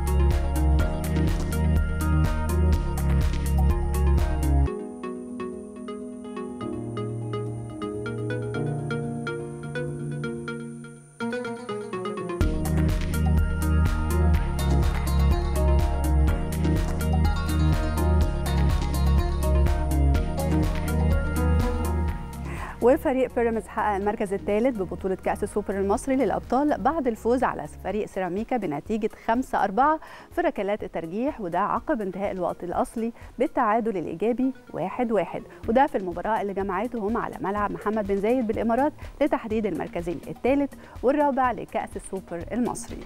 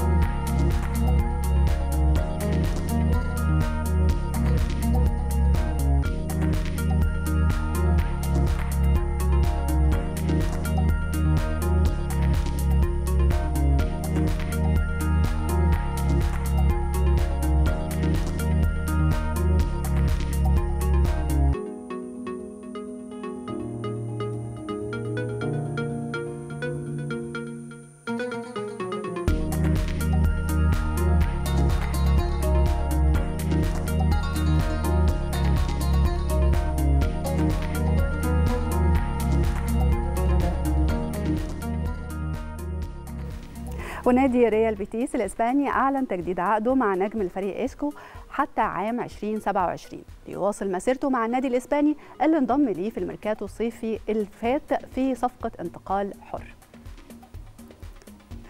وأعلن المدرب الوطني لمنتخب تونس جلال القادري قائمة المنتخب واللي هيشارك في كأس أمم أفريقيا بكوت ديفوار مطلع السنة الجديدة 2024 وشهدت القائمه غياب حنعبل أو هانيبال المجبري لاعب فريق مانشستر يونايتد الإنجليزي.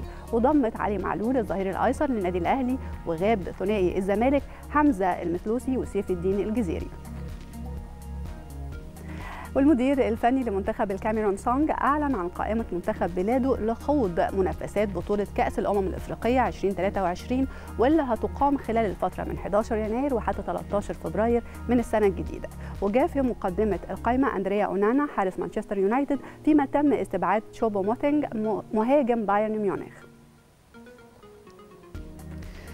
والفرنسي جان لويس جاسيت المدير الفني لمنتخب كوت ديفوار مستضيف النسخة المقبلة من كأس أمم أفريقيا أعلن عن القائمة النهائية اللي هيخوض بيها البطولة. وشهدت القائمة غياب زها نجم فريق جلاتاسراي التركي بالإضافة إلى إيريك بايلي مدافع بشكتاش التركي. وبيتصدر القائمة هالر مهاجم بروسيا دورتموند وفوفانا لاعب النصر السعودي. وآخر خبر معانا الدولي بيرسي تاو لاعب منتخب جنوب أفريقيا ولاعب نادي الأهلي تواجد بقائمه منتخبه النهائية للمشاركة في بطولة كأس الأمم الأفريقية بكوت ديفوار.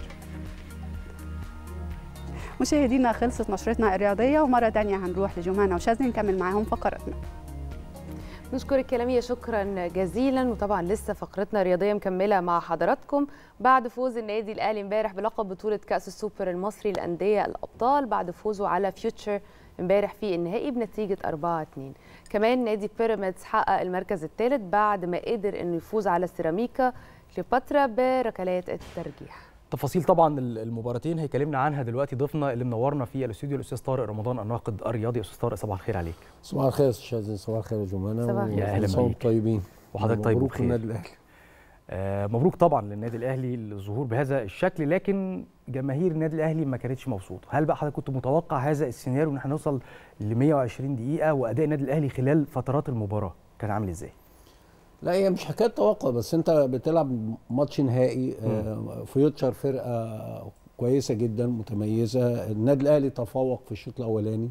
هتلاحظ ان نفس التشكيلة اللي لعب بيها النادي الأهلي دي لعب بيها ماتش اتحاد جدة مع بعض التفاصيل يعني عدم وجود الشناوي وجود مصطفى شوبير. مم. الأداء نفسه بنفس الشكل. فأنت مستمر في أدائك أكتر من 60 دقيقة بشكل جيد ومتفوق لكن في كرة القدم ما تتوقعش إن إن أنت بتنهي المباراة طالما جات لك فرص أزيد إن أنت تزود النتيجة. وفيوتشر رجع بخطأين أو نقدر نقول خطأ آه يعني آه لقلة خبرة مصطفى شوبير إن هو بيستقبل كورة بهذا الشكل فبيغلط فقدامه مهاجم كويس عمر السعيد. أفضل بكتير آه، في فيوتشر من مروان محسن وأفضل بكتير من أحمد عاطف. عشان كده يعني هتلاحظ إن آه، قوه عمر السعيد في الجري أكبر من الاثنين التانيين فقدر إن هو يتصدى للكورة وما يرتكبش أخطاء. ويحرز الهدف الأول ثم محمد محمود بالتسديدة اللي هي دايما بتيجي بنفس الشكل آه، برضو عدم الضغط على اللاعب أو عدم عمل block على بس اللاعب. غيرت اتجاهها آه، فاعتقد ده. فحتى لو غيرت اتجاهها أنت هتلاحظ إن هي رايحه في نفس اتجاه حارس المرمى. برضو دي قلة خبرة من من يعني مصطفى شوبير معذور لأنه ما خدش خبرة كتير ما بيشاركش كتير. فما بتجيله لقطات أو كور في في يعني في أماكن محددة هو بيتصرف فيها لأنه لو بيشارك كان مش هيعمل ال- الخطأ الاولاني أو هيتصدى للكرة الثانية بشكل لأن إحنا لومنا الشناوي في كرة من الكرات بتاع سان داونز ان هو آه، ما مدش ايده زيادة عشان الكرة تيجي في نفس. التسديدة من نفس المكان ده تقريبا أو يمكن كانت الكرة مرتفعة شوية. لكن في مجمل النهاية انت بتلعب قدام فريق كويس اتنين الاهلي لازم يقسم المباراة لأنه فريق مجهد. فريق خمس ماتشات قوية جدا في مدة قليلة زمنية. صحيح كولر تعامل معاه بشكل كويس. صحيح الجهاز الطبي للنادي الأهلي برضه تعامل مع مع الموقف بشكل كويس لكن ما تقدرش تطالب النادي الأهلي إن هو يفضل يضغط على الفرقة المنافسة بتاعته طوال ال 90 دقيقة. هو قدر إن هو يحقق أهدافه وجاب جونين. حتى كرة القدم بتتحمل أي حاجة وأنت بتلعب قدام فريق برضه كبير ومعاه مدرب وبيقدر يغير تركيبة الفرقة عمل تعديلات في فرقته. عنده اتنين لعيبة كويسين جدا أفارقة جوما اللي هو كان مهدد قوي لل- للنادي الأهلي أول ما نزل. فبالتالي أنت أمام ماتش نهائي حلو جدا في جمهور كويس جدا لكن حققت أهدافك من المباراة حققت أهم هدف اللي حققه كولر امبارح موديست إنه أنت اكتشفت اللي إحنا بنتكلم عليه من زمان جدا ان موديست ملوش في لعب رجلين يعني ما. تدلوش كرة على الأرض ما تدلوش كرة آه، سريعة. هو مش لاعب سريع.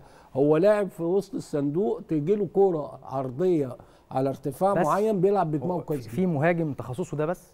آه بيبقى في مهاجمين اللي إحنا دايما بنسميهم المهاجم الكلاسيكي اللي هو كل وظيفته داخل الصندوق. أنت مش. عايز حاجة أنت عايزه بس يوسع للي جايين من الخلف وينتهز الفرص اللي تتاح ليه آه وتكون مظبوطة. علي معلول امبارح رفع له الكرة المظبوطة اللي إحنا من ساعة ما جه هو دي بنقول- تانية يعني دي بقى فكرة التناغم بين اللعيبة ومعرفة قدرات بعض دي طبعا دي برضو مهمة. بس سؤالي بقى ليك وحضرتك بتتكلم يا أستاذ طارق إنه آم، فيوتشر امبارح آم، صحح لي لو أنا فهمت كلامك برضو غلط أو صح قول لي. اتفضل. يعني هل فيوتشر آه، حقق الهدفين دول مش عشان فيوتشر قادر إن هو آه، أو لاعيبته تستاهل إن هي تحرز هدفين أو تحرز هدفين أمام الأهلي وكل ده الهدفين دول جم بسبب خطأ من مصطفى شوبير ولا لأ كان كانوا هدفين مستحقين. طيب بصي دايما الأهداف بتيجي نتيجة أخطاء. يعني أهداف الأهلي مش دايما. لأ أي أهداف بتيجي نتيجة أخطاء من المدافعين أو حارس المرمى. أي هدف. عدم تمركز كويس عدم سيطرة على الكرة بشكل كويس المهاجم سبقك بخطوة دي كلها بتبقى في مفردات كرة القدم. لكن بتيجي نتيجة إيه؟ اجتهاد وجمل بتتعمل وضغط على المنافس حتى يرتكب الخطأ. يعني لعيبه فيوتشر امبارح لو ما جابوش الجون الأولاني كانوا هيجيبوا الجون الثاني ليه؟ لأنه هو طبيعي ما فيش ضغط على محمد محمود وهو بيشوط. آه، محمد عبد المنعم حب يسند على مصطفى شوبير. مصطفى شوبير فكر غلط.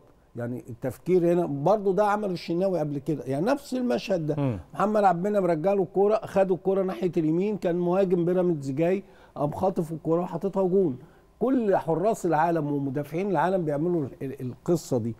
قدرة المهاجم هنا بقى هي اللي بتبان. أنا أقدر أستغل الخطأ بتاعك ولا ما أقدرش؟ المشهد ده لو كان أحمد عاطف موجود فيه ما كانش هتيجي جون لأنه ما بيضغطش كويس. المشهد حضرتك بصيت لو بصيتي على أحمد عاطف مهاجم فيوتشر إمبارح أكتر من كورة في أكتر من موقف كان ممكن يتصرف فيها بشكل تاني يشكل خطورة على مرمى الأهلي ما عملهاش. مم. فبالتالي هنا قدرة المهاجم اللي هو عمر السعيد إن هو ضغط على مصطفى شوبير لغاية ما غلطه. ماشي، محمد محمود بص يعني على المشهد. أنا هقول لحضرتك سألت. السؤال ده ليه؟ سألت السؤال ده لحاجتين. اولا آه إنه فكرة إنه تحميل الخطأ على مصطفى شوبير فقط إنه الهدفين دول بسبب مصطفى شوبير ده من جانب ومن جانب آخر إنه لأ لو في لعبة حلوة اتلعبت إن كان من عمر سعيد حتى لو قدر إن هو يضغط أو قدر إن هو بالظبط. حتى يجبر اللي قدامه إن هو يرتكب خطأ فيبقى هدف أيوه مستحق ما, أنت هتلاحظ إن أنا قلت إن عمر السعيد قدراته أكتر من مم. محمد عاطف فقدراته هنا إن هو ضغط على حارس المرمى وانتهز فرصة الخطأ هي ده تفكير المهاجم بيختلف عن تفكير. المهاجم لكن في النهاية ناتج إيه عن الهدف جه نتيجة إيه إن محمد عبد المنعم سند على مصطفى مصطفى فكر بطريقة تانية لأنه هو أنت عارف لو هو واقف وفكر صح ودي نقص الخبرة بقى. مم. كان رجعها لعبد المنعم تاني. يعني ببساطة أنا برجعها أنت بترجعها لي أنا برجعها لي عشان نفك الضغط بتاع المهاجم اللي عليا. لكن أما خدها ناحية اليمين الكرة طولت بتطول ملي. صحيح. طولت ملي هنا قدرة المهاجم بقى تفكير المهاجم السريع إن هو إيه تصدى للكوره ده بيبقى ناتج خطأ المد... ال- الحارس أو خطأ المدافع مع قدرات تفكير المهاجم ودي كلها هتلاحظ كل الأجوان كده. مدافع بيتمركز غلط يعني كهربا في الجون الأولاني. آه، طلع أكتر من من الم- المدافع سنة وحرك دماغه بشكل صحيح. كهربا فلومينزي جات له الكورة دي اللي هو في كأس العالم جات له نفس الكورة. بس اتصرف بيها بطريقة ما كانتش آه من الركنيه كانت مرفوعة خبطت وجات له من رجل لكن إيه بنفس الكورة بس اتصرف فيها بشكل تاني خلاف اللي اتصرف فيه امبارح. حسين الشحات لما استقبل الكورة ولعبها نفس الكورة دي برضه هتلاقي جت وضاعت منه. فهنا بس قدرات المهاجم مع أخطاء المدافعين بينتج عنها أهداف. لكن فيوتشر في الشوط الثاني مختلف عن الشوط الأولاني لأن حتى كولر لما سحب الثلاثي ال- الأمامي مم. يعني لما سحب حسين الشحات. سحب كهربا سحب بيرستاو سحب. إمام عاشور. سحب أعتقد مرة يعني إيه نزل ناس تانيين مجدي قفشة ما بيلعبش بقاله أكتر من خ... من ثلاث أربع ماتشات. فبتحصل نوع من الخلل شوية قدرات اللعيبة عقبال ما تتآلف بقى مع بعض ويفهموا بعض. هل كولر فهم الدرس ده؟ لأنه برضو بالمناسبة دول عندهم حلول فردية. يعني بجانب إن وجودهم في الملعب فارق هم كمان عندهم حلول فردية مش مسألة تنسيق فقط أو تناغم مع اللعيبه اللي طلع آه. اللي هي القوة الضربه بتاعته. بس هو مرغم. بيرستاو عمل مجهود كبير جدا. حسين وكهربا وإمام عملوا مجهود كبير جدا. ولاعيبة مرهقة بتلعب أساسية في كل وقت. فلازم أستبدلها ولازم أدي فرصة للعيبة الثانية انها تنزل اللعيبة الثانية اللي نزلت خدوا وقت عقبال اللي هي ال 10 دقائق بقى اللي هو إيه اللي جه فيها الجونين. الاهلي بدأ يتراجع وفيوتشر بيضغط. يعني ده الفترة اللي هم بدأوا لسه يحاولوا يتأقلموا. يعني مجدي قفشة لسه بياخد على الكورة. آه كريم فؤاد بيجري لكن من غير هدف يعني. بيجري وبياخد فرص من غير هدف. مودست لسه هتلاحظ الجمهور مودست لما كان يمسك الكورة الجمهور يبدأ يزوم عليه يعني.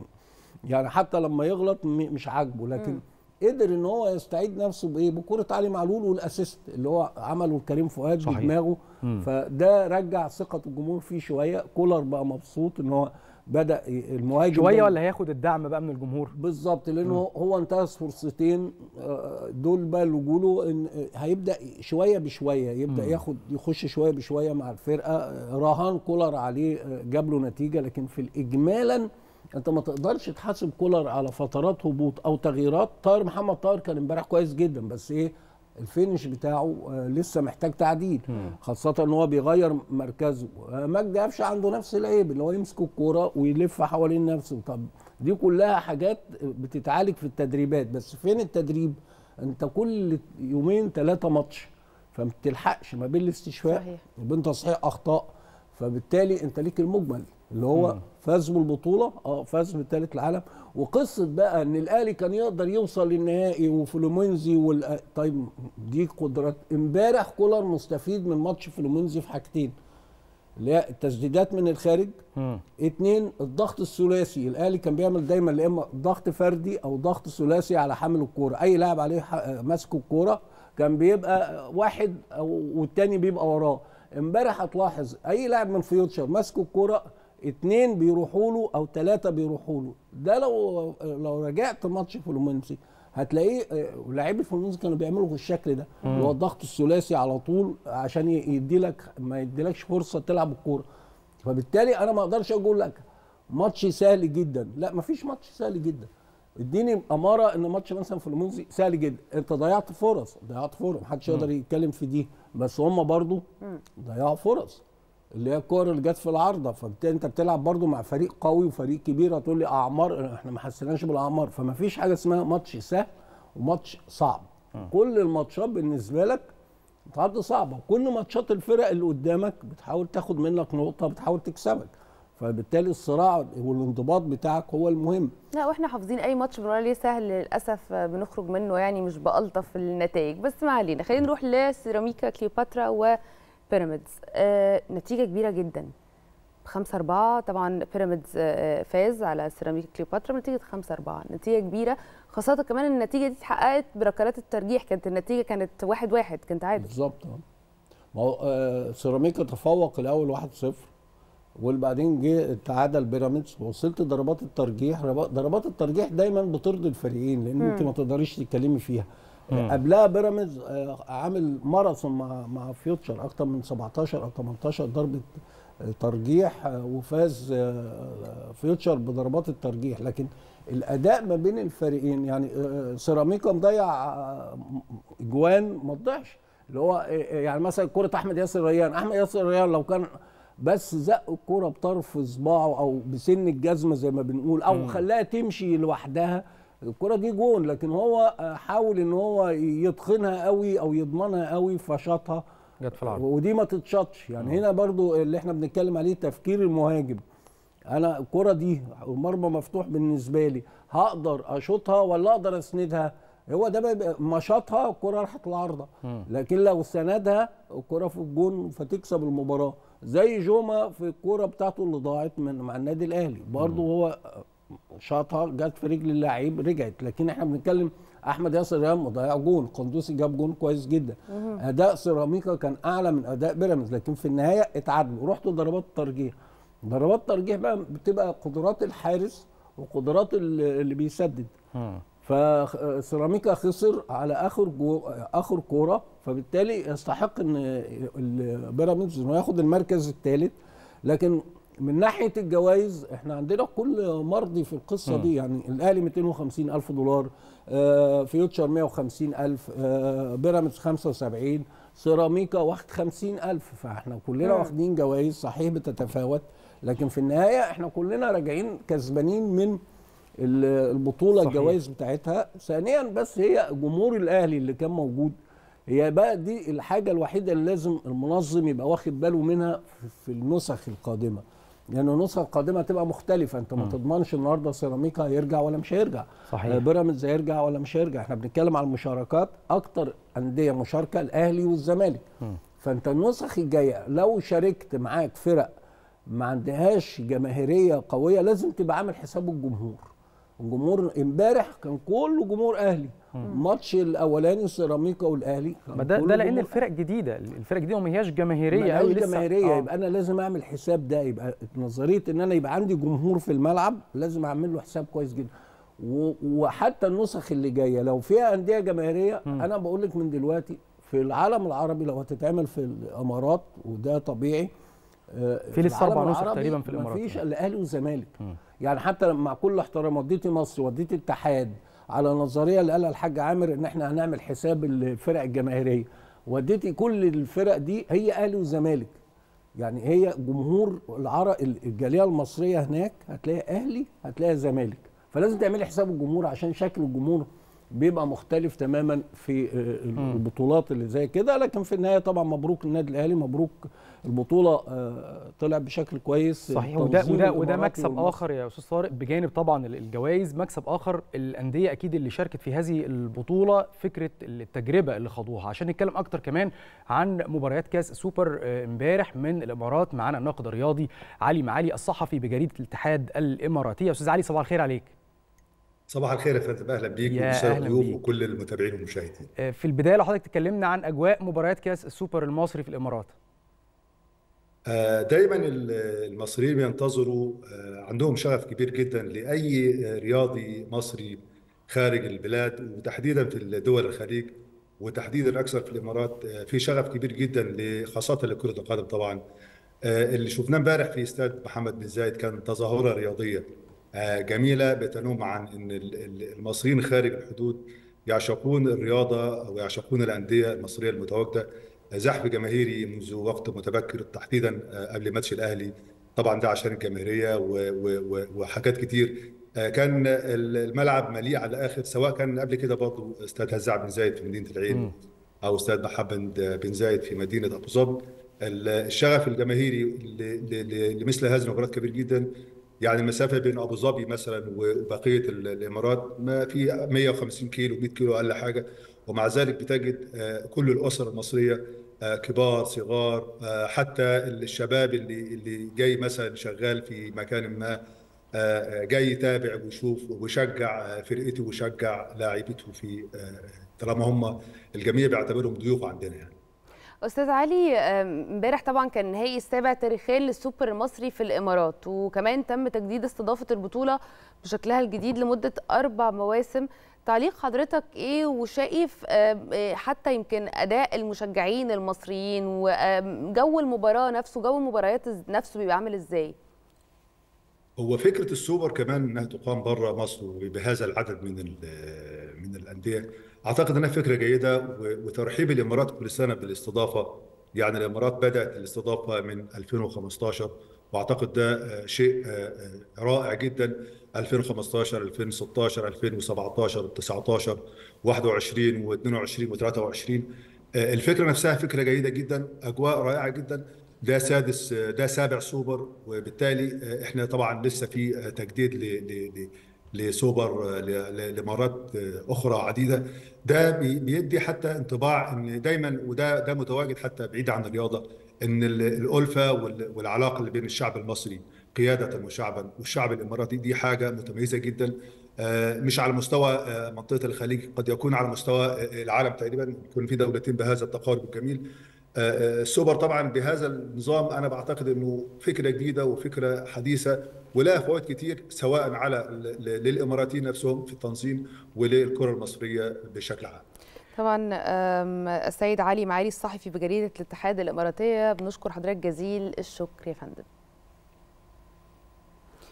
وما زال حديثنا مستمر مع أستاذ طارق يعني أخيرا شايف فكرة وجود أربع أندية مصرية بيلعبوا بهذا الشكل الحقيقة أداء مشرف من قبل أربع أندية على أرض الإمارات عودة قوية وكبيرة لأندية أخرى غير الأندية الجماهيرية الأهلي والزمالك بالظبط يعني انت عندك ثلاث فرق اتعرفوا كويس جدا بالنسبة حتى للجمهور في الإمارات تنظيم على أعلى مستوى. وأنا مع فكرة إن أنت حتى تنظم كاس نهائي كاس مصر في الإمارات لأنها اتعملت قبل كده كان بين الأهلي والمصري. فبالتالي م. إحنا أمام تنظيم هو يحتاج بس تواجد جماهيري أكتر عشان تكتمل الصورة بشكل كويس. جمهور الأهلي أنقذ الموقف بشكل جميل امبارح وقبل كده. فبالتالي هي الجزئية دي لكن وجودها مهم جدا والعلاقة ما بيننا وبين الإمارات علاقة قوية جدا بكل تأكيد. نتواجد هناك وبشكل كويس. شكرا جزيلا لحضرتك الأستاذ طارق رمضان الناقد الرياضي. شكرا.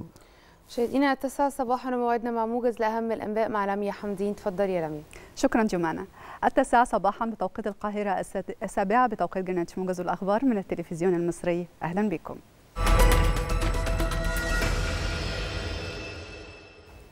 بعث المستشار الدكتور حنفي جبالي رئيس مجلس النواب برقية تهنئة إلى الرئيس عبد الفتاح السيسي بمناسبة قرب حلول العام الميلادي الجديد. كما بعث المستشار عبد الوهاب عبد الرازق رئيس مجلس الشيوخ ببرقية تهنئة للرئيس السيسي بمناسبة العام الميلادي الجديد مؤكدا على دعم مجلس الشيوخ لقيادة الرئيس السيسي ومسيرته الناجحة لتخطي الصعاب وتحقيق التنمية الشاملة لمصرنا الغالية. من جانبه بعث رئيس مجلس الوزراء مصطفى مدبولي برقية تهنئة للرئيس السيسي بمناسبة العام الميلادي الجديد. عاهد فيها الرئيس السيسي على بذل الحكومة المزيد من العمل والعطاء لخدمة الشعب. كما بعث وزير الداخلية محمود توفيق برقية تهنئة للرئيس عبد الفتاح السيسي بمناسبة حلول العام الميلادي الجديد داعيا الله أن يوفق جهود الرئيس السيسي ويسدد خطاه للوفاء بمسؤولياته الوطنية وإنجاز الأهداف القومية الطموحة. صرح رئيس الهيئة العامة للاستعلامات ضياء رشوان أن مصر قد طرحت بالفعل إطارا لمقترح لمحاولة تقريب وجهات النظر بين كل الأطراف المعنية سعيا وراء حقن الدماء الفلسطينية ووقف العدوان على قطاع غزة. وإعادة السلام والاستقرار للمنطقة وأوضح رئيس الهيئة العامة للاستعلامات أن صياغة هذا الإطار قد تمت بعد استماع مصر لوجهات نظر كل الأطراف المعنية بهذا الإطار مشيرا إلى أن المقترح يتضمن ثلاثة مراحل متتالية ومرتبطة معا وتنتهي إلى وقف إطلاق النار مشددا على أن كل ما يتعلق بموضوع الحكومة الفلسطينية هو موضوع فلسطيني محض وهو محل نقاش بين كل الأطراف الفلسطينية. وأكد رئيس الهيئة العامة للاستعلامات أن مصر لم تتلقى حتى الآن أي ردود على الإطار المقترح من أي طرف من الأطراف المعنية لافتا إلى أنه سيتم بلورة المقترح بصورة مفصلة وسيتم إعلانه كاملا للرأي العام المصري والعربي والعالمي عند ورود الردود من الأطراف المعنية. استشهد وأصيب عشرات الفلسطينيين غالبيتهم من الأطفال والنساء جراء تواصل قصف قوات الاحتلال الإسرائيلي برا وبحرا وجوا على مناطق متفرقة من قطاع غزة. واستهدف الاحتلال عددا من منازل الفلسطينيين وسط وجنوب قطاع غزة. ووصلت طائرات الاحتلال الحربية ومدفعيته قصف مناطق واسعة من محافظة خان يونس وتحديدا المنطقة الشرقية منها. وفي مدينة رفح جنوبا استشهد وأصيب عشرات المواطنين إثر قصف الاحتلال منزلا في مخيم الشابورة بعد أن استشهد ما لا يقل عن 20 شخصا إثر قصف إسرائيلي آخر استهدف أحد المنازل في رفح بقطاع غزة. قال جيش الاحتلال الإسرائيلي إن قواته قتلت ثلاثة محتجزين إسرائيليين في غزة يوم الخامس عشر من ديسمبر عندما ظنت خطأ أن استغاثتهم كانت حيلة لاستدراكها إلى كمين. وخلص جيش الاحتلال إلى أن الجنود تصرفوا بشكل صحيح بحسب أفضل تقدير لهم للأمر. وفي الخامس عشر من ديسمبر الماضي أعلن جيش الاحتلال مسؤوليته عن قتل المحتجزين ثلاثة ونشر الجيش الإسرائيلي النتائج التي توصل إليها وخلص إلى أنه لم يكن هناك أي قصد خبيث في الحادث. استهدف قصف إسرائيلي مناطق في دمشق وجنوب سوريا وفق ما أعلنت وزارة الدفاع السورية وقالت وزارة الدفاع في بيان لها إن قوات الاحتلال نفذت عدوانا جويا من اتجاه الجولان السوري المحتل مستهدفة بعض النقاط في المنطقة الجنوبية ولم تعلن الوزارة عن خسائر بشرية. أمر الرئيس الفنزويلي نيكولاس مادورو أكثر من 5600 عسكري بالمشاركة في مناورة دفاعية ردا على إرسال بريطانيا سفينة حربية إلى المياه قبالة جويانا. وقال مادورو إنه أمر بتنفيذ عملية عسكرية ذات طبيعة دفاعية ردا على استفزاز المملكة المتحدة وتهديدها للسلام وسيادة بلاده على حد وصفه. وكانت بريطانيا قد أعلنت في وقت سابق أنها ستحول مسار سفينة اتش ام اس ترينت إلى جويانا في ظل النزاع بين الدولة الواقعة في أمريكا الجنوبية وفنزويلا المجاورة بشأن منطقة إيسيبكو الغنية بالنفط. رياضيا توج الأهلي ببطولة كأس السوبر المحلي للمرة الرابعة عشر في تاريخه والثالثة على التوالي بالفوز على مودرن فيوتشر في النهائي بأربعة أهداف مقابل هدفين خلال المباراة التي جمعتهما باستاد محمد بن زايد بدولة الإمارات. وتقدم الأهلي بثنائية نظيفة عن طريق كهربا وحسين الشحات قبل أن يعود مودرن فيوتشر للقاء ويدرك التعادل عن طريق كل من عمر السعيد ومحمد محمود لينتهي الوقت الأصلي بالتعادل هدفين مقابل هدفين. ويلجأ الفريقان للشوطين الإضافيين اللذين نجح الأهلي خلالهما في تسجيل هدفين عن طريق كل من مودست وكريم فؤاد ليحسم اللقب لصالحه بنتيجة أربعة أهداف مقابل هدفين. مشاهدينا انتهى موجز التاسعة ونعود لاستكمال باقي فقرات صباح الخير يا مصر بعد الفاصل. أهلا بحضراتكم. في الأيام الأخيرة من عام 2023 كان في أحداث كتير جدا سياسية وثقافية وعالمية.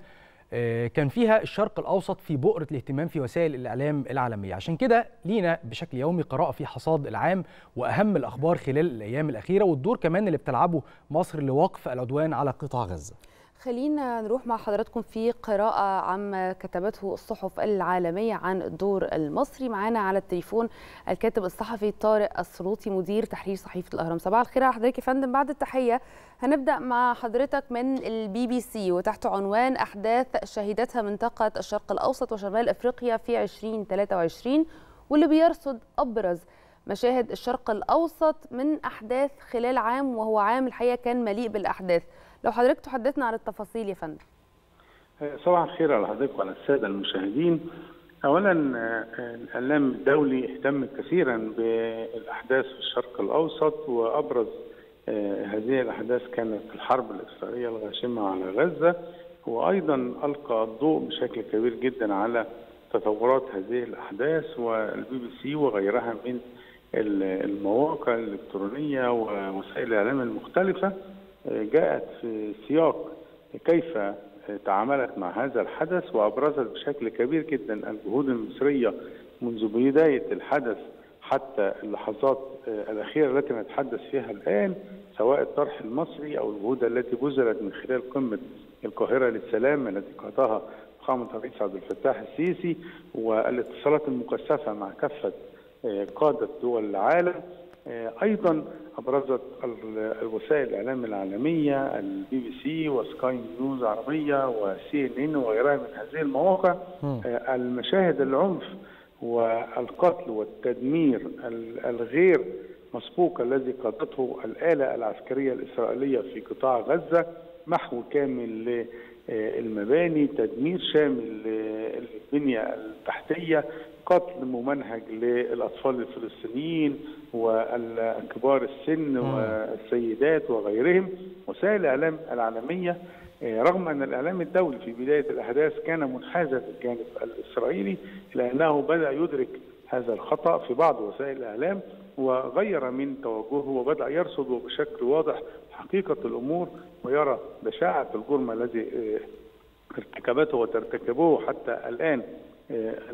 الحكومة الإسرائيلية الحالية التي لا تتورع ولا تحترم قوانين دولية ولا مواثيق أو غيرها وسائل الإعلام الدولية أبرزت أيضا ما تقوم به مصر على معبر رفح وعلى الحدود مع قطاع غزة المحتل من جهود مكثفة في عمليات إيصال المساعدات وما تقوم به مصر من عمليات ضبط النفس في التعامل مع هذا الموقف لأن مصر طرف مباشر وأصيل في هذه القضية الفلسطينيه بكل تأكيد يا أستاذ طارق. طيب لو رحنا مع حضرتك لسي ان ان واللي اتكلمت عن أبرز ما بحث عنه العالم على محرك البحث جوجل والحرب على قطاع غزة إيه هي القائمه وإيه دلالات البحث عن الحرب عالميه في واقع الأمر أن عمليات البحث عندما تشير إليها سي ان ان وهي القنوات الرائدة على مستوى العالم وتؤكد أن أن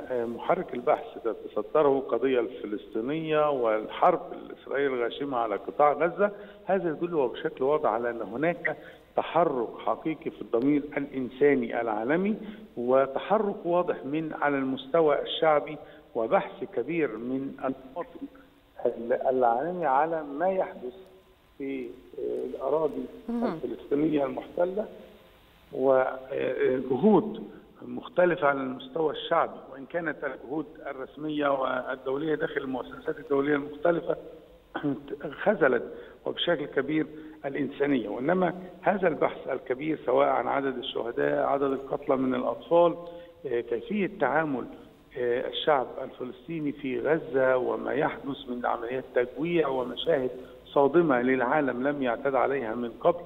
مشاهد الأطفال التي تبحث عن لقمة داغوا في أكوام من الحطام والركام مشاهد الأطفال المشردة مشاهد المستشفيات كل هذا كان يأتي في نطاق محركات البحث المختلفة على جوجل وغيرها.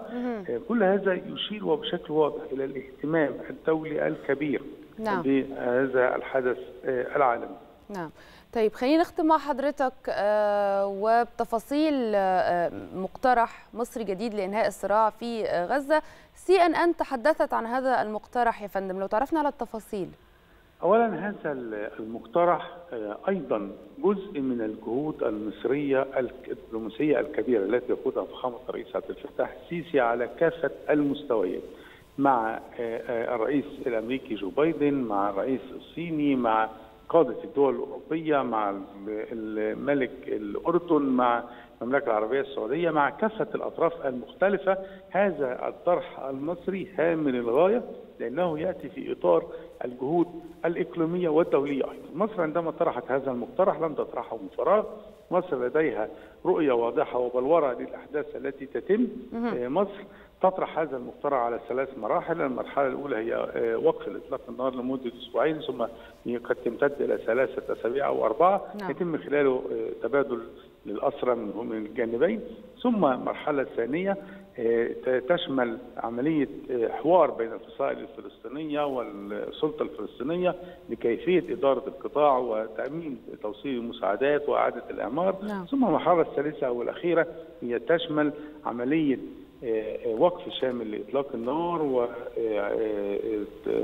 ووضع بلورة شاملة للموقف الحالي بما يؤدي إلى حقن الدماء وإعادة الإعمار مرة أخرى في القطاع غزة المدمر نعم. وبالتالي الاهتمام الإعلامي العالم الدولي سواء من السي إن إن أو غيرها بهذا المقترح يأتي في سياق التقدير العالمي للجهد المصري في هذه القضية شكرا لحضرتك يا فندم. الكاتب الصحفي طارق السنوطي مدير تحرير صحيفه الأهرام. نشكر حضرتك يا فندم جزيل الشكر. في نفس السياق الحقيقة الجهود المصرية الدبلوماسية لم تقتصر فقط على دورها في قطاع غزة إنما هي جهود دبلوماسية قوية قامت بها مصر على كل الأصعدة إن كان في قطاع غزة أو حتى في السودان الشقيق. خلينا نعرف تفاصيل أكثر عن الجهود الدبلوماسية المصرية مع كل الأحداث الدائرة الحقيقة في محيطها الإقليمي. بيشرفنا الآن في استوديو صباح الخير يا مصر. الدكتور جمال سلامة أستاذ العلوم السياسية بجامعة السويس. صباح الخير حضرتك يا فندم. ولا صباح الخير وصباح الخير. يا دكتور. أستاذ محمد أستاذ رومان أهلا بيكم. أهلا بحضرتك. في البداية زي ما كنا بنتكلم يا فندم إنه مصر الحقيقة ليها جهود دبلوماسية كبيرة جدا. ليس فقط في قطاع غزة إنما أيضا في السودان. بالطبع مصر حينما تتحرك بالنسبة لي في دبلوماسيتها تجاه السودان هي بتعتبر السودان هي عمق استراتيجي نتيجة لروابط الأخوة والروابط التاريخية والروابط الحضارية أيضا بين مصر والسودان التي ليس فقط منذ الحكم المصري في السودان منذ عهد الفراعنة وهناك روابط وثيقة بين مصر وبين السودان وبالتالي وما زالت يعني روابط الأخوة المصرية السودانية حاضرة السودانيين حينما شعروا بأن المشاكل والأزمات التي تنتاب السودان يعني قد تطول لم يجدوا ملجأ إلا مصر ومصر احتضنت أهالينا. في السودان في أراضيها وما زالت مصر بتبذل الجهود الكثيرة من أجل إيجاد حل. وآخر هذه الجهود كان هناك مؤتمر الدول جوار السودان الذي عقد في يوليو الماضي وبالتالي وكان هناك نداء يتحدث عن ضرورة وحدة السودان وعن ضرورة الحفاظ عن الدولة السودانية. والتأم هذا المؤتمر بحضور معظم الدول المحيطة بالسودان. فبالتالي يعني هذا ليس طرفا سياسيا حينما تتبنى مصر قضية السودان. كمان يا دكتور مصر لا تسعى إلى أن تظهر في الصورة منفردة. يعني مصر دائما لما بتعقد قمم أو مؤتمرات تعنى بأزمة ما في المنطقة أو في دول الجوار فإنها تدعو دول الجوار ودي لها دلالة كبيرة طبعا. نعم. مصر يعني بتنتهج سياسة في دبلوماسيتها وهي دبلوماسية القمه ودبلوماسية المؤتمرات. يعني كثير من المؤتمرات التي أثمرت والتي كانت مصر بالفعل فيها حاضرة بقوة. يعني يعني برغم طبعا المشاكل والأزمات الاقتصادية التي بتعاني منها مصر لكن مصر ما زالت رقما صعبا سواء كانت في المعادلة السياسية أو حتى المعادلة الاقتصادية بما تحتويه مصر من فرص واعدة للاستثمار ومن أيضا قدرات ومن من ناتج محلي كبير جدا من أسواق واسعة جدا. فبالتالي مصر بتعتبر برغم الأزمة الاقتصادية وبرغم الأوضاع الاقتصادية التي تعاني مصر منها أو تعاني منها بعض دول نتيجه سواء ل يعني عوامل داخلية أو عوامل خارجية لكن مصر بتتحرك بدبلوماسياتها في على المستوى السياسي وعلى المستوى الاقتصادي أو على المستوى الإقليمي أو على المستوى الدولي. انطلاقا من فكرة دبلوماسية القمة هي أفضل وسيلة لإقتحام المشكلات وللتواصل مع العالم. وعشان كده بنلاقي دول جوار السودان موجودين. لما هنيجي نناقش أزمة في السودان فتلاقي مصر بتعقد قمة أو مؤتمر لجوار نعم. السودان وأيضا لجوار الدول الجوار الليبي.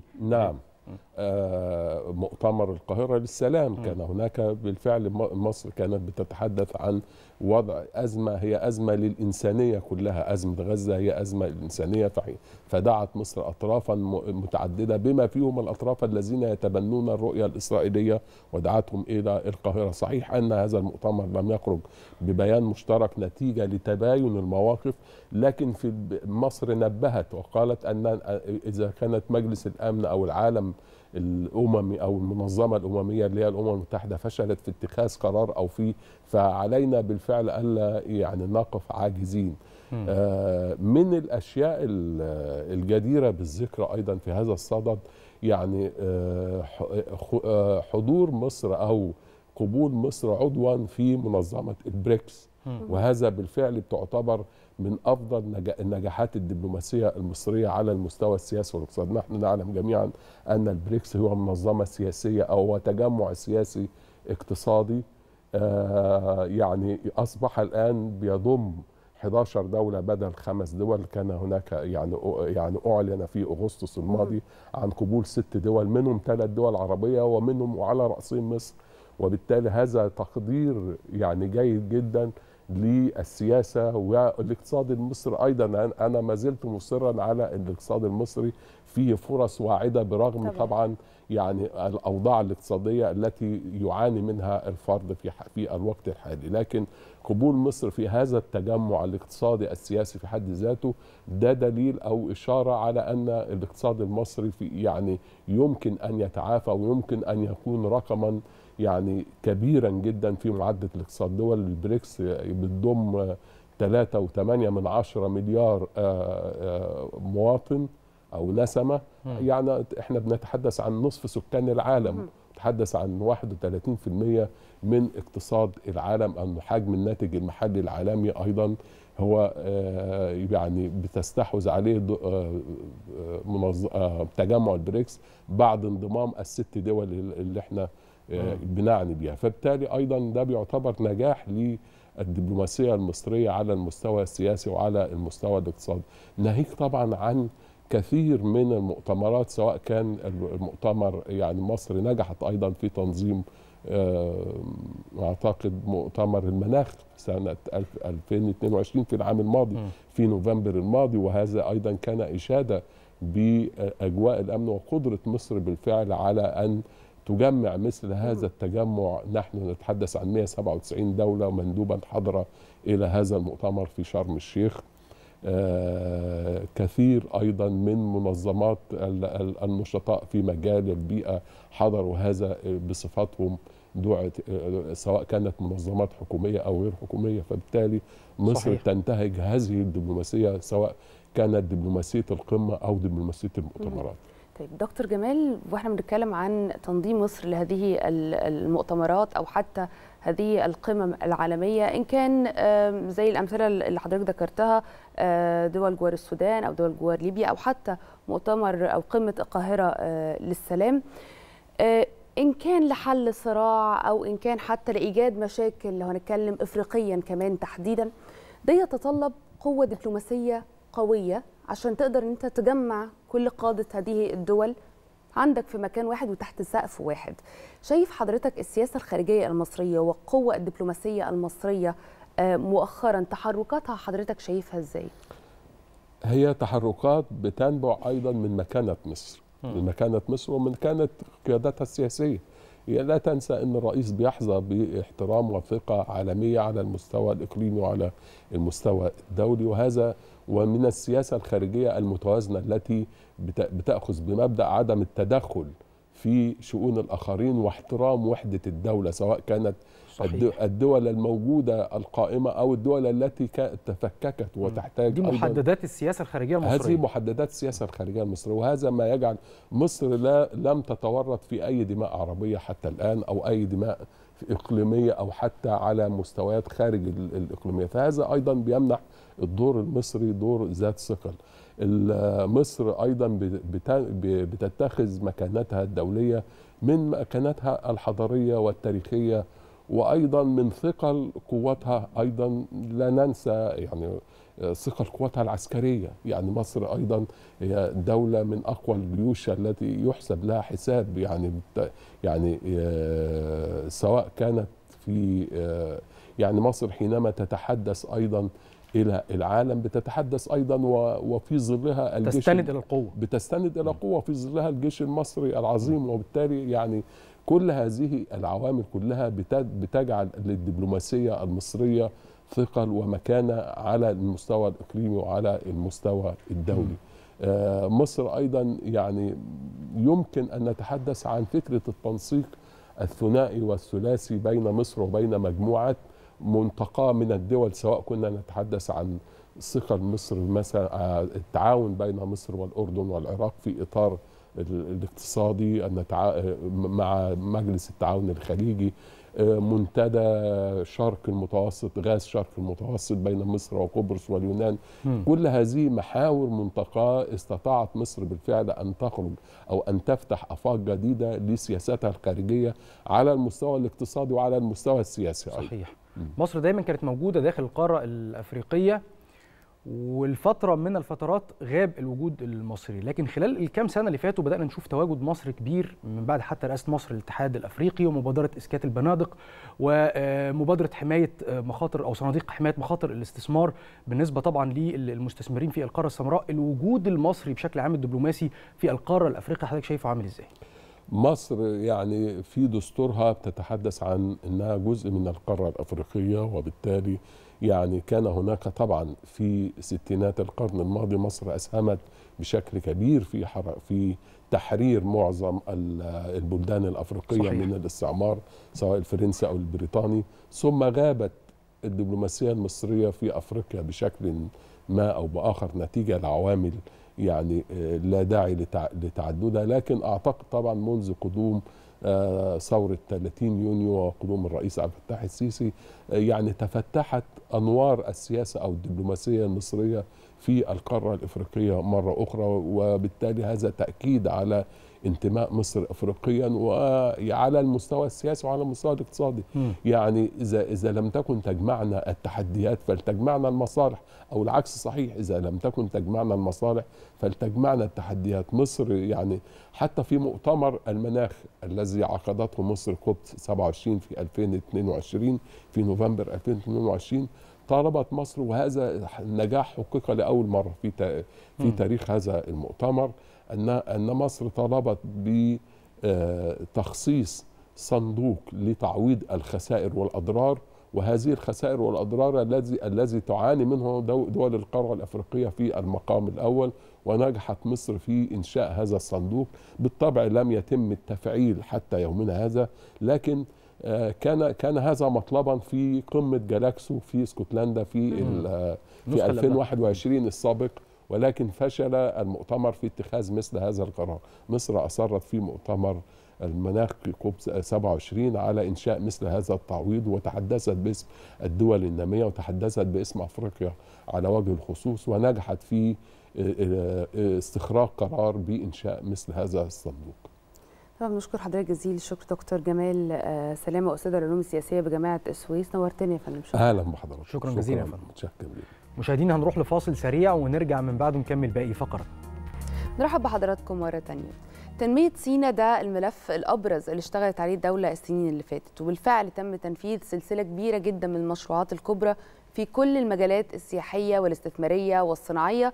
ده بهدف تنمية هذا الجزء الغالي من أرض مصر بالإضافة طبعا لاهتمام الدولة بأبنائها من أهالي سينا وحل كافة مشاكلهم. طيب إيه هو التأثير الإيجابي للتنمية في آه، سينا على المواطنين المقيمين في سيناء وأهمية تطوير كمان البنية التحتية هناك ده اللي هنعرفه دلوقتي في فقرتنا النهارده من ضيفنا اللي منورنا في استوديو صباح الخير يا مصر الشيخ عيسى الخرافين. شيخ مشايخ شمال سيناء شيخ عيسى أهلا بيك. أهلا بيك يا. منورنا. أهلا بيك والله. يا أهلا بحضرتك. إحنا دايما وإحنا بنتكلم في البرنامج عن أهمية التطوير آه، في شمال سيناء وأهمية المشروعات القومية اللي نفذت بالفعل في شمال سيناء ومردودها على المواطنين هناك. لكن يهمنا نسمع من المواطنين هناك إيه اللي. اتغير عندهم آه، إيه اللي. اتغير عندكم في المحافظة آه، اولا آه، أنا جاي النهارده من سينا بحمل تهنئة للسيد الرئيس عبد الفتاح السيسي بدورة رئاسة تانية وأقول له كل المشايخ بيقولوا لك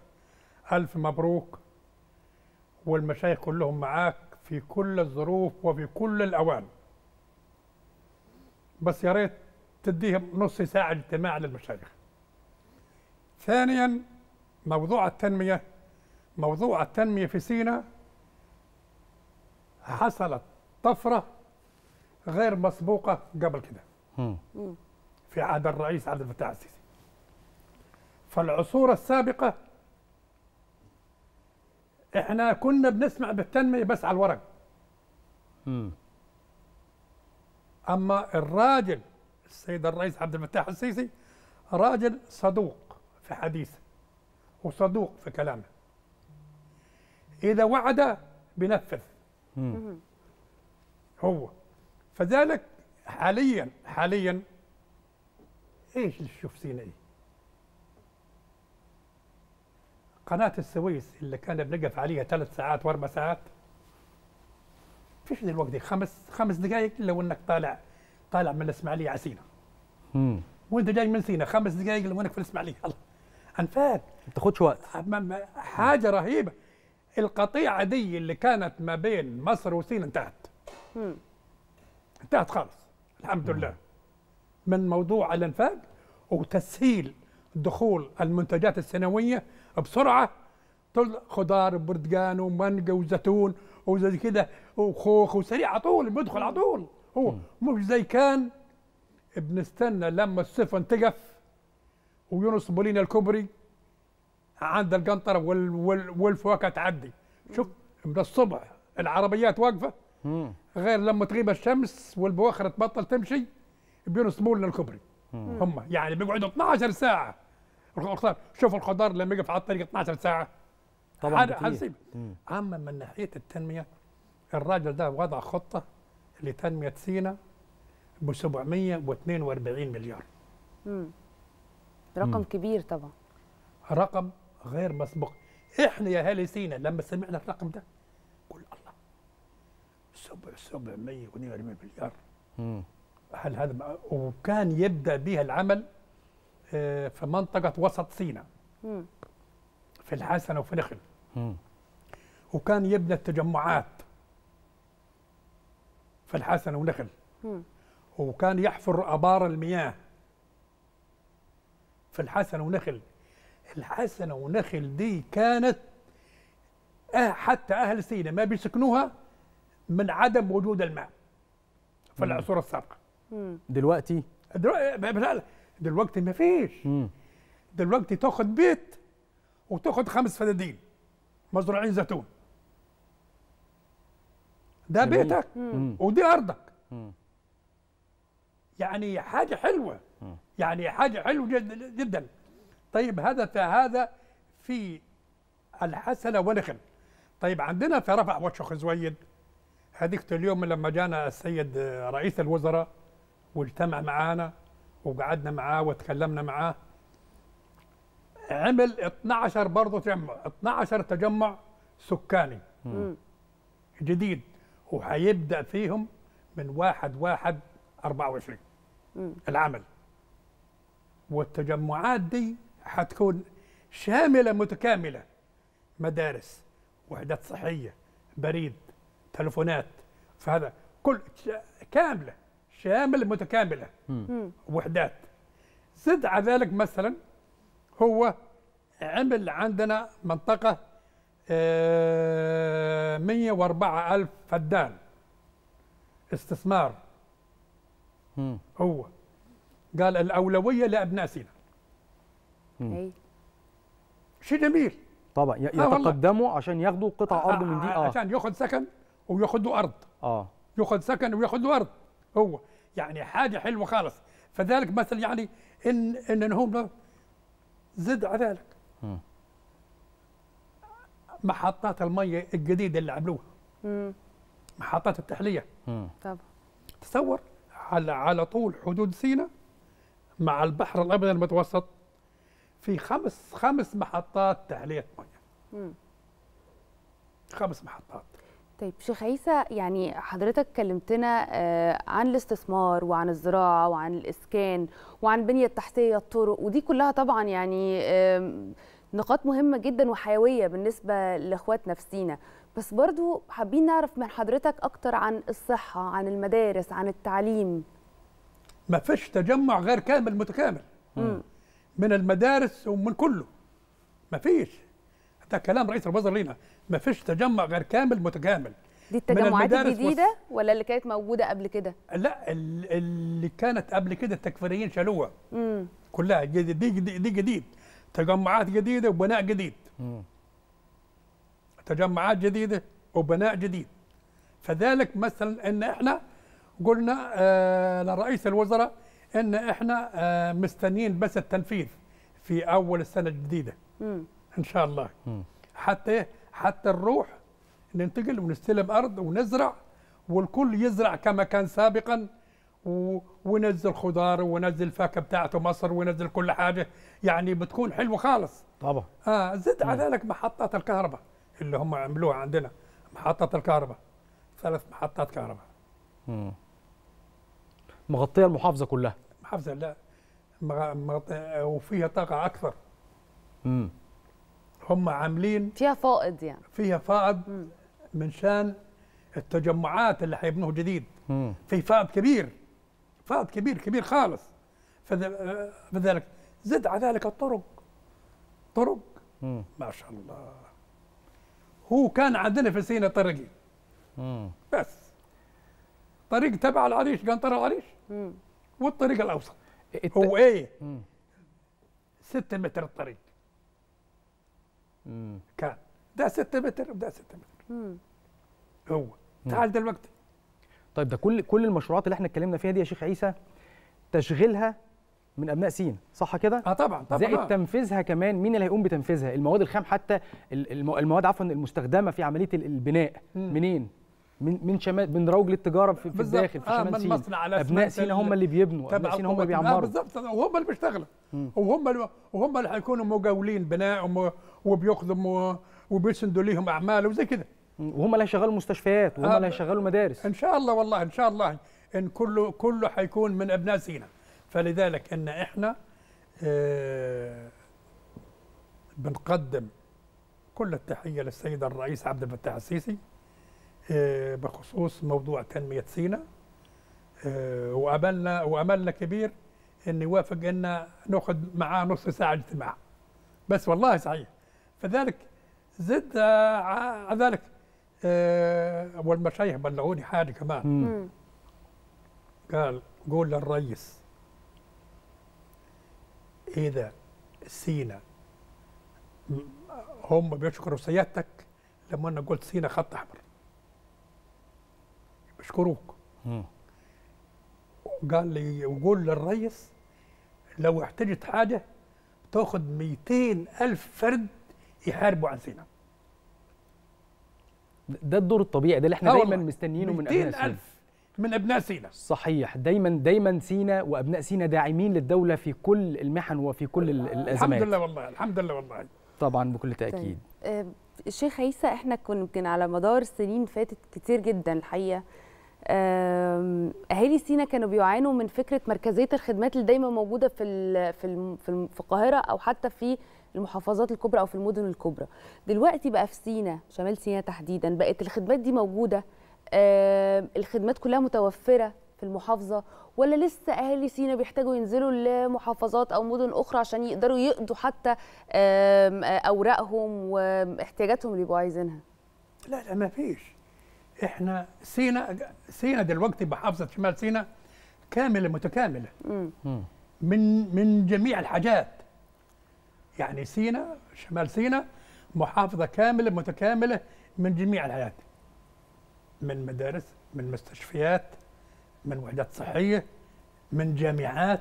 كمان فتحوا عندنا الجامعة ووسعوها وخلوا وفتحوا فيه فرع آه، للطب وفرع للصيدلة وفرع مم. كذا. يعني بقت جامعة جامعة صحيح هي. يعني مش بس كده يعني حاجة يعني حاجة حلوة خالص.